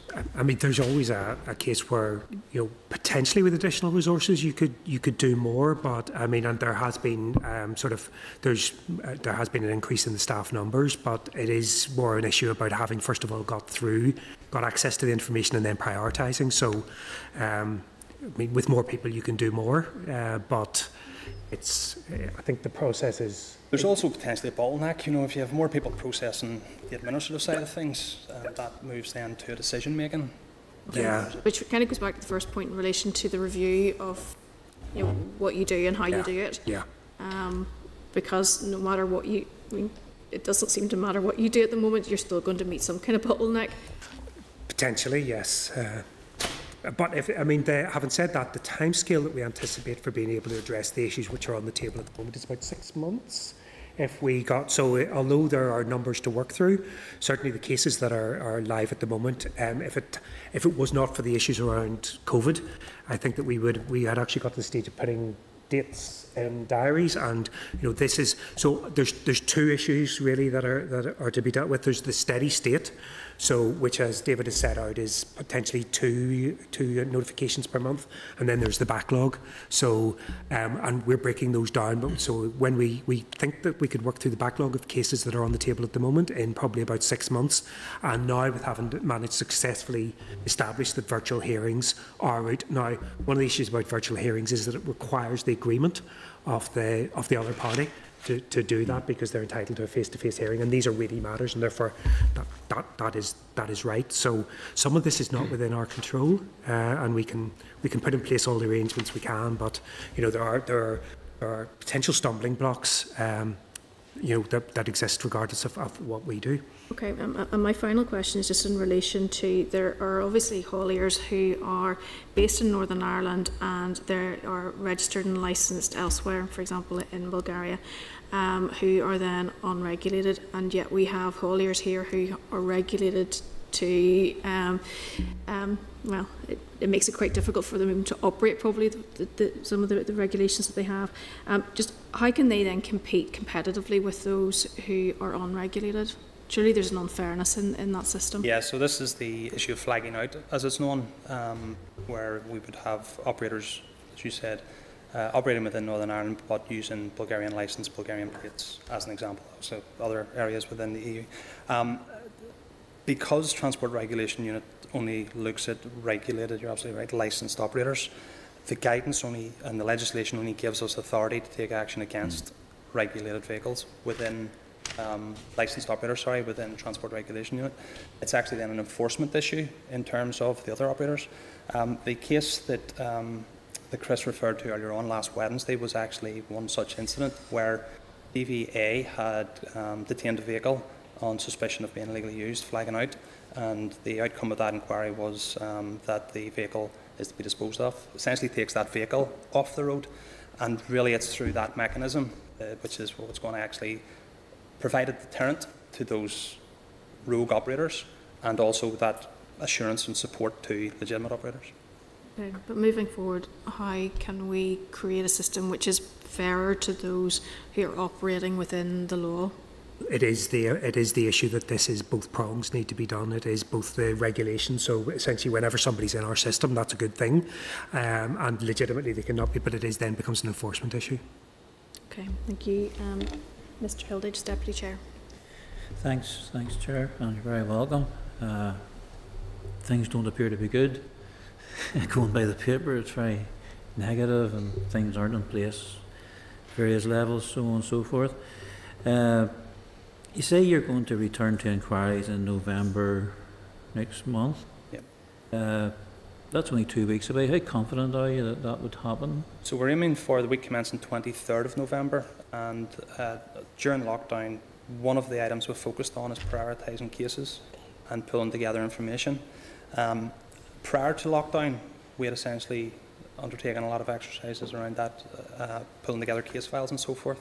Unfortunately, as time progresses, the situation for an operator changes, so you almost have to revisit that, which is incredibly frustrating, uh, but it's a necessary evil. We're now in a position where um, case files have been presented to the presiding officers, and they're then coming back with final changes to that. Uh, we have to give a statutory notice of 28 days to transport managers, 21 days to operators. Um, so those those call, out, call up letters are essentially prepared, and once we get the final nod from the presiding officer that they're content with the material within those, then they'll be sent out. Um, so we've provisionally booked the location for hearings on the 23rd of November, and we're looking to start the virtual hearings um, the week commencing 14th. 14th of December. 14th of December? December Yeah. And you've done quite a bit of work to ensure that these are compliant with the public health guidelines. So as of as of this morning, we are content that actually we will be able to progress to those now. But there Um, was a difficulty with prop, the, the buildings before getting locations. Yeah. So Before COVID, so that's an ongoing situation. it is, yeah. We've now got um, agreement with the LPS and uh, we've, we've got third party accommodation. Um, before COVID, we had come to an agreement with the Northern Ireland Court Service to use their locations. Um, the difficulty then, the, cut, the shutdown of courts, and then they're, they've got their own backlog and so forth, so the courts, um, for, the, for the time being, aren't available to us. Um, And with the courts, would that help you long, long term, post-COVID, hopefully? to be determined. Um, post If we have access. Yeah, it, it's, if we can get the access, um, we, we need a, a Can hearing. Can held in hotels around the country around like got these hearings and inquiries? There's specifications for the for the accommodation that need to be met. So because it's a hearing, yeah, you need yeah. yeah. So that that's really the issue, which of course makes courts ideal. Yeah. Um, so there's there's been work has been going on on the long term solution to this, and we had been making good progress on that actually until COVID happened. And then whenever COVID did happen, there was a focus on actually trying to get hearings up and running. So I mean that's not looking at being a long term solution, but actually it does allow us to start the hearings uh, as there, we is there appeals after those hearings? The appeals are heard by the uh, upper tribunal, so they're heard in court. They're heard at That's- court? It's judiciary that looks after that, yeah. Okay. And finally, is there, is there anything, if you, you've been, uh, you do seem to have been looking to GB uh, to look at what's going on over there, uh, is there anything that you're learning at all that can be introduced here to help the situation? Well, the online hearings is the key that we've learned from the uh, Office of the Traffic Commissioner in GB. I'm in touch with them quite regularly, and in fact, one of the things we're looking at now is around um, the the notice given to an, an operator called to, to a public inquiry, um, seeking their agreement, which Chris had mentioned earlier on, or considering the circumstances of the case, if there's a road safety risk, can we actually call them to um, a virtual hearing? Are these other places suffering backlogs too, or? Yes, yes, they are. Yeah, yeah. And there has been training provided by uh, by the, the GB traffic commissioners to the team, so to help uh, so to help embed some of the learning. So we are we are taking the opportunities for the learning to try and make these things as as you know, as smooth as possible, essentially. So And would, would it be intended to bring traffic, commi- or to install traffic commissioners here in Northern Ireland? Or just to keep bringing these folk in from across the that, water? that would be part of the review the chair Part of the review. referred to. Okay, thank you. Okay, thank you. Mr Buchanan. Thank you, and thank you, Chris and David. If I roll back to the start, if I want to operate tomorrow, in layman's or layperson's terms, I should say now, in layman's terms, uh, operate 10 vehicles tomorrow, what's the normal process? Briefly. So there'll be an application be submitted, and within that application, you'll be asked to provide various pieces of information about your your um, how you, what you're intending to practice, where you're intending to be, and so forth. Um, we will assess a number of those factors. Is the operating centre suitable for 10 vehicles, for example? Uh, you, as an individual, are you of good repute? Do you are you fit to become um, a goods vehicle operator? Um, do you have the financial resources to look after your vehicles, maintain your vehicles? Uh, do you have the sufficient processes? In some instances, you have a requirement on professional competency, dependent upon the type of um, uh, the type of application you put in. So that will require you to have a transport manager Uh, you could be the transport manager if you're qualified, or you might have to, to nominate one. Um, so all of that material is assessed. In some instances, it's very black and white. Do you have the financial resources, yeah or nay?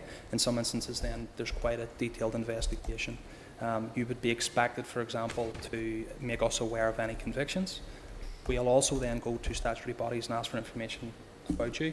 And if, for example, that were to show that you did have convictions, you didn't declare, that would obviously be an amber flag for us. And sorry for cutting across you. Does the applicant have to be the person that owns the business?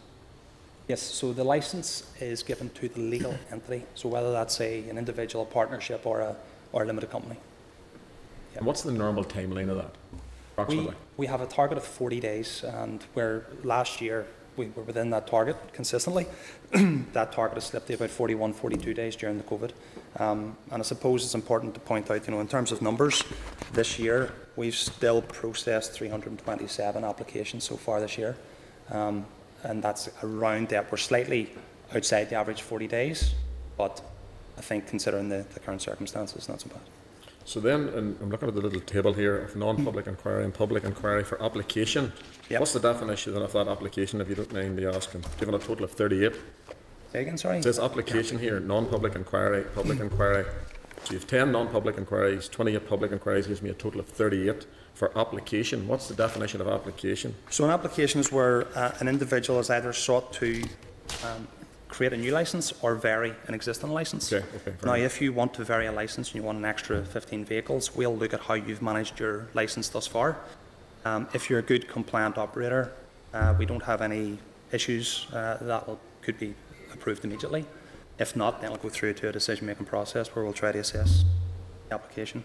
So obviously, if I, let's call it in simple terms, broke the rules, and then going to be, are you putting any emphasis on application process or regulatory process? Are you putting, are you weighting? So within your department, which is more important? I know they're important, both of them, but are you Yeah. weighting them? Well, we've got a direction on that where we're, we're looking at food safety concerns first and foremost. That's our number one priority. And then applications. And then we'll be looking at those applications on a date by date date basis. We've, And is that two separate departments within you, or is it the No. same people? no, it's the same people. Right, Once and- it goes to this level of decision making, it's the same group. And what, what's your uh, capacity for that as a number of staff doing that? You know, is it Well, we've met the targets, so um, they Are you referring to the capacity to look after the hearings? Yes. Sorry. Um, Yeah, well, it's, it's, it's the same, um, same team, as I said, to look after each. We have a number of caseworkers that will be leading in terms of pulling together the information. And then there are essentially three decision makers, including myself and two deputies. So that hasn't changed the number of staff over this past number of years, and no? They have changed, yeah, they've In gone what up. way? it's gone up Gone up? Yeah. For? Or- For what reason? to fill vacancies. Yeah. So you referred then to you're going to have these um, number of inquiries completed by when? Six, what did you say, six months, did you say? It's, we had anticipated six months initially. Um, this is when we're looking back December, November last year. Our expectation was six months. Um, a number of the hearings can be heard conjoined. Uh, so, for example, if you have an application from an operator, um, but there's a concern that this is actually maybe a front for another operator, you might call both those together. So it's not as if there's necessarily, although there's um, there's 70 um, operators being called to a public inquiry, there's one of the ones we're looking at at the minute is actually three three of those operators being being called together. So our expectation, sorry to answer the question, is about six months. That may well change depending on how the public. So what, what was those figures like, pri- and this is my final question, Chair, what's the, what was those figures like prior to COVID? As COVID obviously created a problem, no doubt, but what was those figures approximately? I don't need to know exact Which- figures, but what were they like prior to COVID? Which which figures The, the, the regulatory figures, you know? The caseload? Yes. Yeah, I thought I actually had them there. Um, they were um, around the 50 mark, so they've gone up a bit. Um, now we have also taken some off the list or changed the priority classification. So some of those um, in-chamber preliminary hearings, which are the non-public inquiry, uh, the expectation is that they're more of an education piece. Uh, the likely outcome of regulatory action be quite minimal. In some instances, review of those and the, the information relating to that operator might have changed, and we've increased that. And in some instances, you have applications that actually no longer being pursued and so forth. So that was part of the exercise around December, November, try and get a clearer picture of where we're at and where we're going. So you, you do have the number that came in since COVID, don't you? The, they've been coming in about two a month, isn't that the? Yeah, yeah. it's- about it's- two a month is the is the sort of what comes in on a regular basis. So while we're delayed, that's that's what Yeah. it starts to increase by. Thank you, thanks. Okay, thank you. Mr Boylan?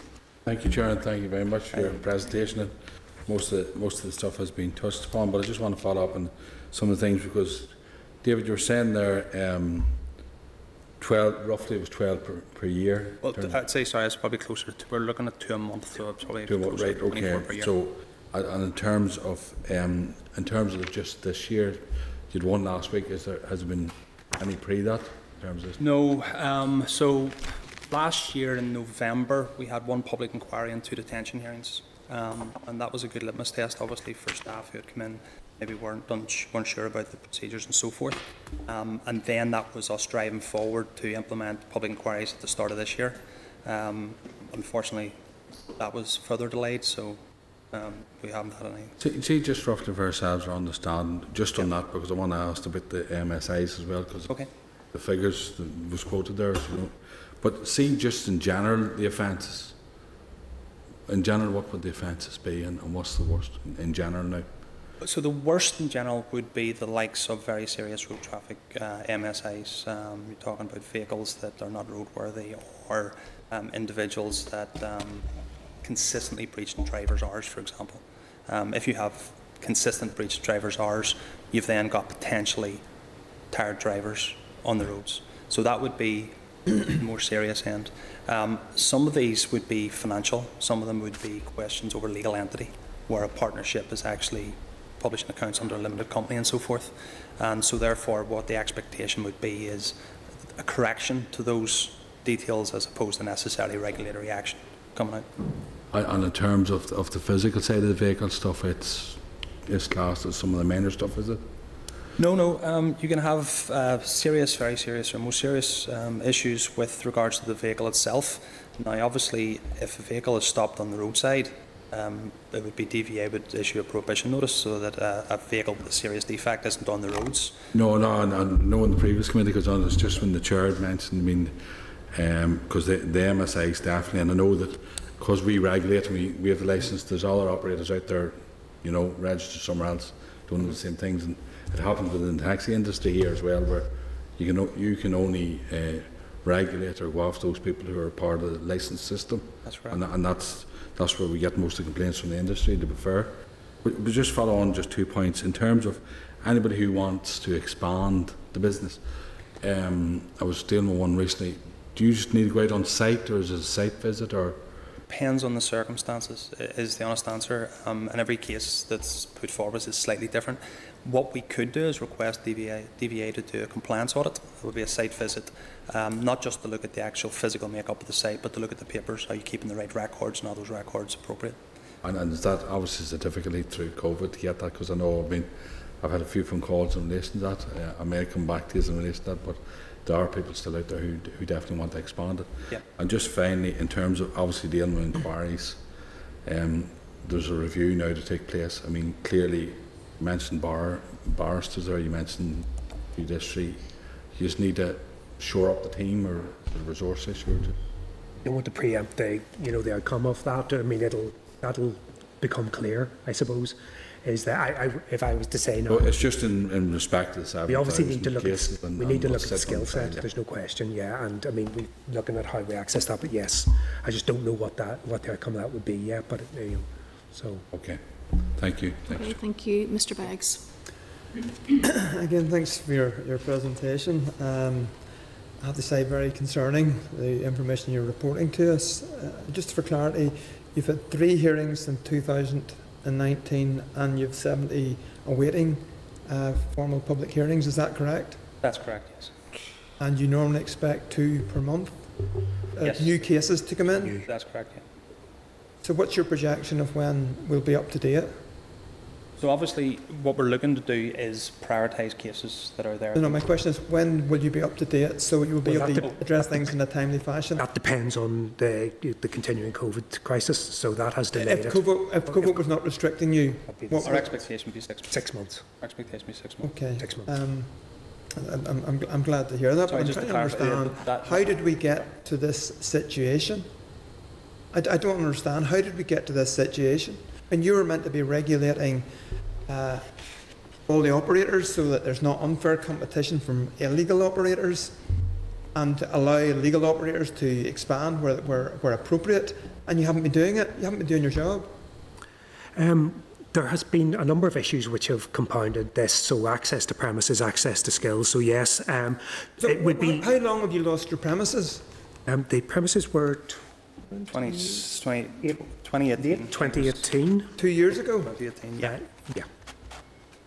So, you know, why do you not go out and rent something? Because the premises need to meet certain requirements, so they have to. Because the nature of this is where you have judicial type hearings, where you have to have a, a hearing. It takes two years to get suitable property. It has done. I, I find that quite unbelievable. Yeah. Uh, in, in terms of staffing, then, how long have you not had the skills in house to carry out the hearings to the right required standard? Well, the hearings have continued um, So because the uh, the issue has been that hearings have continued. There has been criticism from the upper tribunal about some of the processes, so that has not stopped hearings taking place, but it has. But you've recently started to engage with deputy commissioners elsewhere, so prior to that, you didn't have staff with the required standard. Is that correct? Uh, we had well. There wa it became clear from the feedback from the upper tribunal that there were issues that needed to be addressed as What far as the skills were concerned. What were the issues? It was the nature of the process. Yeah, think, so, rather than um, the rather than any of the findings, they had Lack, lack of uh, adequate reasoning and investigation within the hearing, um, the decision-making process itself, and then uncertainty as to who the decision-maker was. So it all falls around the issue of fairness within the hearing, and that's where we've then looked at the, uh, the judicial. I- Is it reasonable to think if you had to go elsewhere, you didn't have the skills in, in-house? Is that a reasonable assumption? Well, taking account of those criticisms, that was the that was the conclusion. Okay, so my question is, how long have you not had the skills in-house? Well, we haven't moved to having people with those skill set. With those particular skills, we haven't. We haven't had those. We haven't had those people. So the How long, since when? Well, since uh, I mean, since the since legislation was brought in place, it was always run by and the decision-making process sat with an administrative grade. Yeah. Um, So And four we- years, no, you haven't had since since skills? 2012, I believe it was. 2012, yeah. It's always been. You've not had the skills? So I wouldn't say we haven't had I would, skills. yeah. There, what has happened is through the operate. So yes, there is a there's a skill deficit that we're now looking to address, but uh, the process has run. It has just been criticised by the fact that the skills. So yes, there has been a shortfall in skills, but I wouldn't say that we haven't had the skills. We haven't had all the skills. I think it's probably a, a fairer reflection, um, and we, we now that that's been identified to us from the upper tribunal. I would prefer be- if you're more frank. It's it's clearly been the criticism because decisions have not been appropriate and you've had to go elsewhere. Brian, is that no, not correct? No, that's not correct. So there is a difference between the decisions being appropriate and the process. So the decisions themselves have not been subject to criticism. The process that got us there has been. So there is a difference. So um, just to be very clear, um, the, the lack of skills has not stopped progress. It has been an issue that needs to be addressed as we try and make the thing as fair and robust as possible. What's But- wrong with the process then? You said it's not the people, it's the Well, it's process. the, the issues that David outlined. Yeah, so uh, if you take a couple of the case examples that um, have led to criticism from the Upper Tribunal, the Upper Tribunal has um, not sought to overturn the decision of the Department, but has sought to criticise the decision-making process and how we've got to that decision. So when looking at, for example, the backlog of, of 70, um, and a lot of these issues, fortunately, they're, they're gone back a number of years, so um, what we're looking to do is ensure that when we move forward, that we take a very, very clear and controlled step forward with regards to these hearings. What we certainly don't want to be doing is um, trying to rush through 70 hearings, get them out of the way quickly so that we're clear, um, but then be subject to a serious criticism from Upper Tribunal. So I haven't heard what was wrong with your process. Sorry, the process itself, nothing, just within the actual decision making, within the hearing. Yeah. Um, it was So earlier on, you said there's nothing wrong with the decisions or the skills of the people. It was the process. and Now you're saying it's not the process. I am No, sorry, confused. the- the- say the process. So when we went to a physical hearing, just as any judicial hearing, these are civil, civil, civil hearings, um, the criticism from the upper tribunal has been around how the decision and determination Yeah. was got to. So to, to sort of to, to clarify, just um, it, I find this so there there is a process. So there's a procedure which is set out, which is what we're referring to whenever we talk about the process. So there is a defined procedure which is what we were calling the process. So if so, and that has not been subject to any criticism. That is that is uh, you know it just simply hasn't. Within that, how the decisions were taken. So that has been that. So it is a, it's almost a subset of the operation within. So the process is fine, but the decision making within that has been the issue that has been subject to the criticism. I'm Just, uh, just uh, I'm, I'm more confused than when I started, I have to say, uh, Madam Chairperson. Um, but uh, just uh, in terms of the seriousness of this, um, as others have alluded to, some of the legal operators have been involved in people trafficking. Isn't that correct? Operating from Northern Ireland? And the, and the system has not worked here? They weren't licensed here? No, the, the, so any of the investigations that we've been made aware of, um, there's been no operators within Northern Ireland. Okay, drivers from Northern Ireland then? Yeah, um, I, yeah. Yeah. Could there have been a regularly role in, in uh, improving this situation? So the drivers aren't regulated no, by um, ourselves? They, uh, well, I, mean, the, the issue there is, um, so probably, I mean, to be honest, the, the issue there probably is if somebody decides to um, act illegally and to indulge in, in these issues, we can, we can identify a company which is acting in that way potentially. But if an individual driver decides to go out and engage in illegal practices and with the horrendous outcome that that had, I mean, this is, And are some, have some companies been in dealing with illegal activity, whether it's that or other criminal activity, which you None- haven't been able to deal with? none that are licensed here. Yeah, so But it's the ones that are not licensed, are we able to suitably Well, they're being dealt with in the jurisdiction where they are licensed, so that's the Kent Police. that, that particular case is with particular the? Essex Police. Um, Essex. So the, the other operators, I mean, there's been a few ones recently um, of uh, drugs within Dover, and that was linked to a driver in Northern Ireland and so forth. We engage with the authorities to find out if there's anything that the department needs to be aware of. Have we an operator, licensed operator, linked to this? Um, quite often, where it's an NCA involvement, sorry, National Crime Agency involvement, um, with ongoing investigations, they'll give us very little. Um, local PSNI would make us aware as to whether or not there's anything we need to be aware of. Um, and in the most, in all those recent examples uh, over the last few months, there's been nothing linked to licensed operators. We don't have concerns that there are any bits of process that aren't being operated by us that would have stopped these these issues. That I think, um, because if there were, as a human being, you would. A, a final, final question then. You've indicated that virtual meetings can occur and that will help you deal with the backlog. That only occurs when both parties agree to it. So if you're potentially taking action against someone, presumably they're not agreeing to it. So are all the illegal operations uh, or areas where you have concern really not being addressed by the virtual system and when will they be addressed by public hearings? Yep. So what, what we've what we've done is we've established not only the process for the virtual hearings, but we've established then the mechanisms to facilitate in the current times a face-to-face hearing, and we've got presiding officers happy and content to come across. Um, we've got location for that, and we've engaged with PSNI and we've engaged with LPS to make sure that we're meeting all the, the regulations. Um, what we're going to do is engage with the Traffic Commissioner about their lessons learned. Um, there is an opportunity potentially to um, work with operators um, where we have a serious road safety concern. There is an opportunity um, to um, to disqualify until they can make themselves available at a hearing. Um, One final question. Given the backlog and given the, the work that's ongoing, can we justify having our own trained commissioner ourselves so that everything will happen on a timely basis going forward? And what's the comparable cost of, of subcontracting this in? That would be a matter for the review.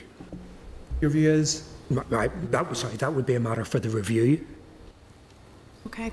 Right, okay, thank you. Okay, thank you. I'm mindful we need to be out of here by one o'clock, but we have three, um, three other members wish to ask Okay. questions. So we'll have Miss Anderson and followed by Mr Muir and then Mrs Kelly. Thank you, thank you for the, uh, the presentation and um, I can understand Mr Beggs' frustration uh, because I think none of us realised that the skills shortage went back eight years. Is that what I picked up from 2012? No, I think it's always been set out within the, um, the policy and the practice that it's been an administrative uh, function to, to preside over these hearings. And I think the lesson learned over time was that um, the procedure within a hearing to give fair, open hearings um, is very much a judicial one. The criticism from the upper tribunal is also there to show um, or to support that, that, that thought. So there has been then over the last while a mechanism put in place to try and identify how we best then take forward these hearings in a manner that ensures that they're fair, open, meet all the requirements, um, reducing the opportunity then for, for appeal.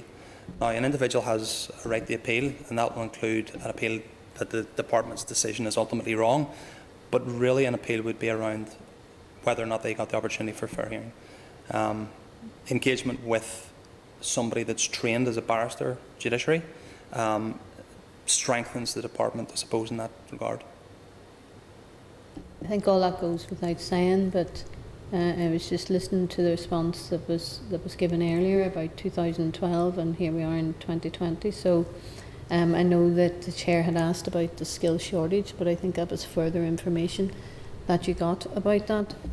How do you have a fair, open, transparent manner when you don't have a, a premise from 2018? Where do you operate from? So we were using premises um, belonging to other departments. Uh, we had been using um, Cleaver House, Clarence Court for non-public inquiries, and Killymeal House. Um, unfortunately, their access to those, um, obviously first and foremost for their own departments, and as their own business ramped up, our availability suffered as a result. how close are you to getting or securing a premise? So we've, on the short-term front, we've now agreed with LPS, a site in Belfast, um, for hearings on a fairly regular basis. Um, and then they're now taking forward uh, the long-term view. Uh, security assessment, the Clarence Courts determined that that it's not suitable. Um, so we have to we'll have to look elsewhere. Uh, you're responsible for licensing and regulation of the heavy goods vehicle Yep. operators. Uh, do you anticipate the role is going to change due to Brexit? No, uh, the regulation aspect, um, we will regulate based upon how an operator conforms to the law. As the law changes, the expectation would be that they would then conform to the, conform to the new law. Um, really, if we get referrals, regardless of what the infringement is, whether that's against the law or otherwise, we'll take action against that.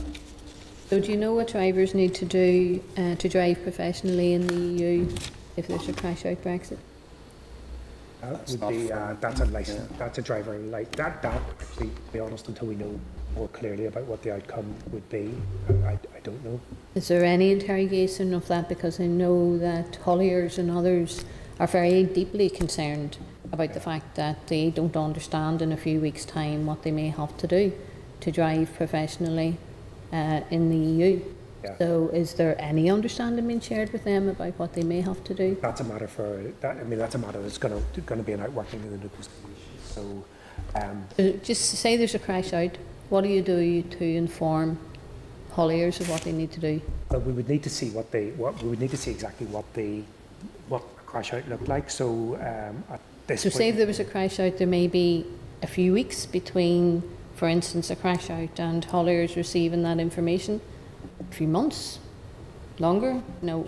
Hauliers need to know Yeah, in order From a transport regulation perspective, um, we wouldn't be involved in policy or legislation.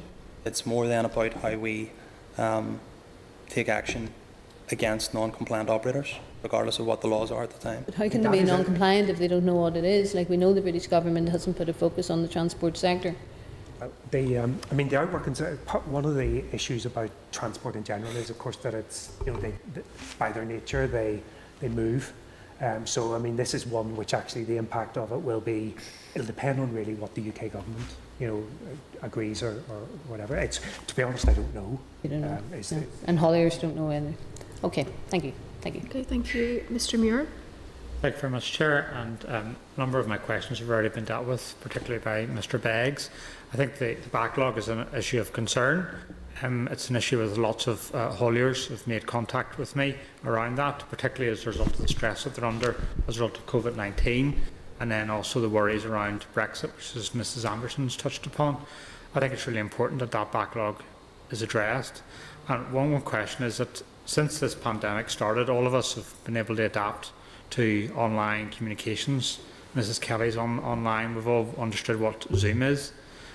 why was there such a delay in convening those hearings online? I understand that you have to get the, the permission from the, part, the, different parties to do it, but why was there such a delay in being able to convene that?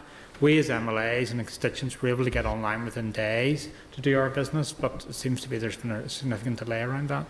I think that's because of the nature of the, the process that we need to go through. Yeah, we've obviously sought advice um, throughout, and we've kept an eye on the advice both from the local court service and from the Office of the Traffic Commissioner.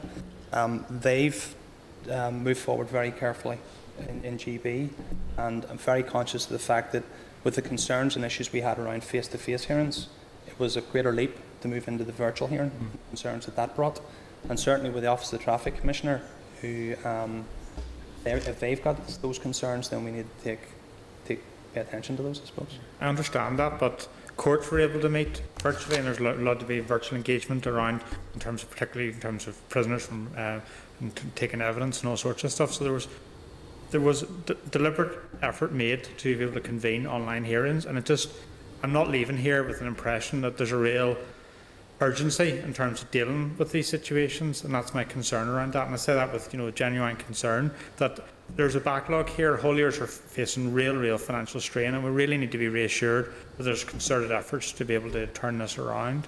Well, I can assure you there has been every concerted effort. What we're conscious of is the fact that the consequences of hearings are actually very serious.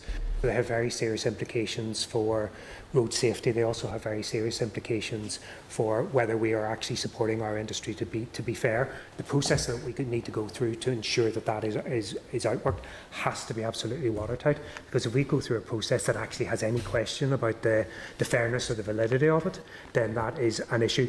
We also needed to get the casework ready. So I can assure you that while I much would have preferred things had happened quicker than this, um, they have happened as quickly as we as we can as we can make them happen. Okay, I think, Chair, it's been important a number of months' time to review where how we've progressed in relation to this. Because I've got to worry that this is going to run and run. So. Okay, thank you. Mrs Kelly. Thanks, Chair. I'll try to be brief. I'm just picking up on Mr Beggs. Uh, calling being involved in illegal activity, the people trafficking and illegal waste.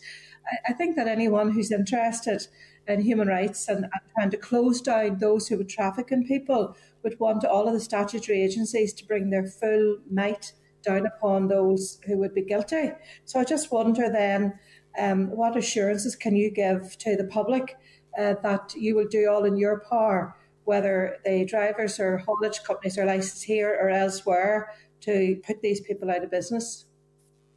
On that, I think I would refer back to the risk assessment that took place whenever we were identifying the information that's made available to us.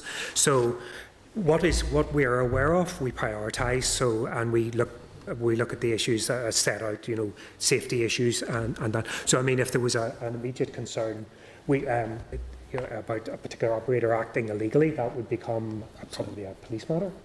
Yeah, first and foremost, the police matter, yeah. and the conviction would be an instant yeah. loss of repute, and that's the point in time where they would lose their licence, absolutely. So we're not privy to information that would cause any concern for people trafficking or drug smuggling or illegal waste that we're sitting on. I, I can assure you of that, and as it becomes aware of us, we uh, made aware as regulators, we have a regulation role, we don't have that enforcement role. But, but just, sorry, Chair, just to say that um, the, the, the haulage company had more than one lorry and one of them was found to be used in criminal activity. Would that then mean there'd be a concerted effort by the uh, agency or the department to share that across all of its um, um, uh, other bits of its department to uh, ex- inspect the vehicles and drivers that are working for or are driving uh, for the company that has been found to be in breach, if that makes sense. Yeah, so, um, the, the breach there would essentially be by the operator as opposed to just one driver per se. Now, obviously, there would be due process to find out what knowledge was had and so forth. But again, the regulation here is on the operator and the expectation that they train drivers and they manage drivers. Um, that's, that's so where we would look at for the regulatory action. That would have an impact on the repute, obviously. So I mean, it's one of the one of the criteria that they're required to, to meet is to be of good repute. And if something like that happened, that immediately raises a concern about their repute. So that would be, and in an instance where that, that would be prioritised as a something like that, absolutely. Absolutely, we'd absolutely. I don't think we've had that particularly? No, I don't believe so. No, no, but it would obviously that would that would send a red flag, and it would, and there are the mechanisms through, whereby the impact on the repute is something that we, as as you know, the the li- licensing could could pick up. Uh, well, I don't think that's my experience. I do know of some hauliers who have been fined, particularly for illegal dumping, and I know they're still in business. So I don't know how that has happened. But we'll come back to that maybe at another point. Okay, thank you. Um, thank you very much for coming this morning. Chair, I just a quick point. very, very quickly. Because we need to it's an important point. Because under EU statute, see in terms of the um, OSAIS infringement, Yes, there's an assessment process in terms of the operator. and that's the So, and that's something, you know, that's, I know Ms Anderson was asked about it. We need to be clear on, on all of that. I mean, Sorry, yeah, so where you have an MSI, it is essentially loss of repute, but the EU regs say that you have to then undertake a, an administrative process to determine whether putting someone out of business then is proportionate to the offence. Um, but that's all the sort of casework, and that's why we need to be so careful when we're in a public inquiry to make sure that all of that is measured up and weighed up. Okay, so Thank thank you again for, for coming um, this morning. Um, I, I think members probably, rather than having being more reassured, we probably have um, more concerns. But um, I think we will return to this probably um, in the next um, number of weeks. Um, but again, thank you for coming this morning. Thank you. Thank you. Thanks.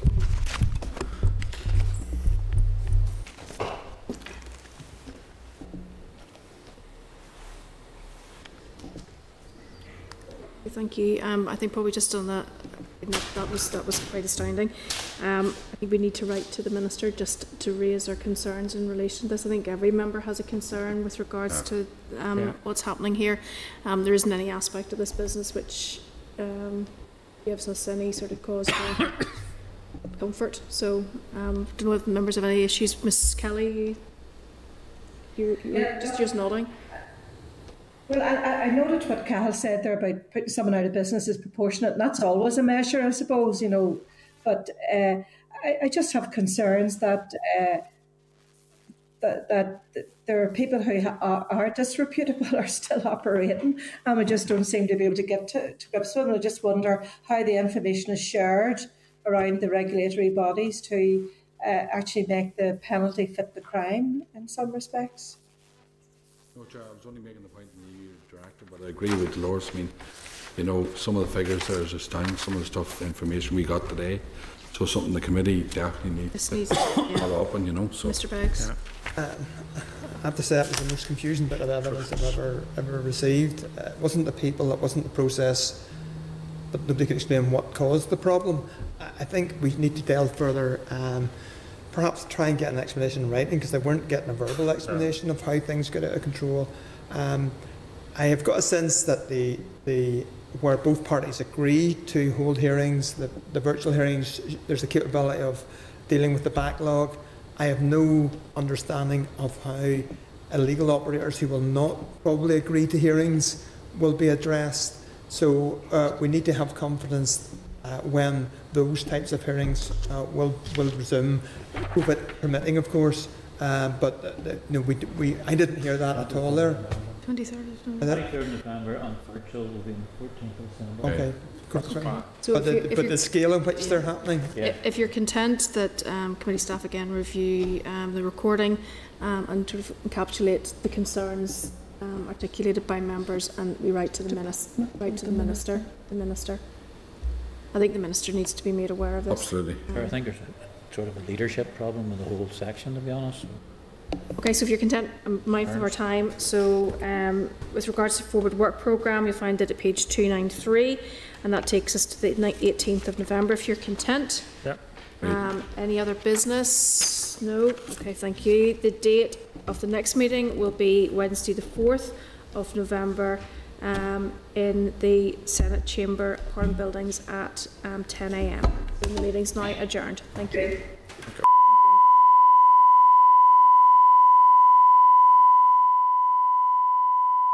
This is the Northern Ireland Assembly Senate Chamber Programme Sound. This is the Northern Ireland Assembly Senate Chamber Programme Sound.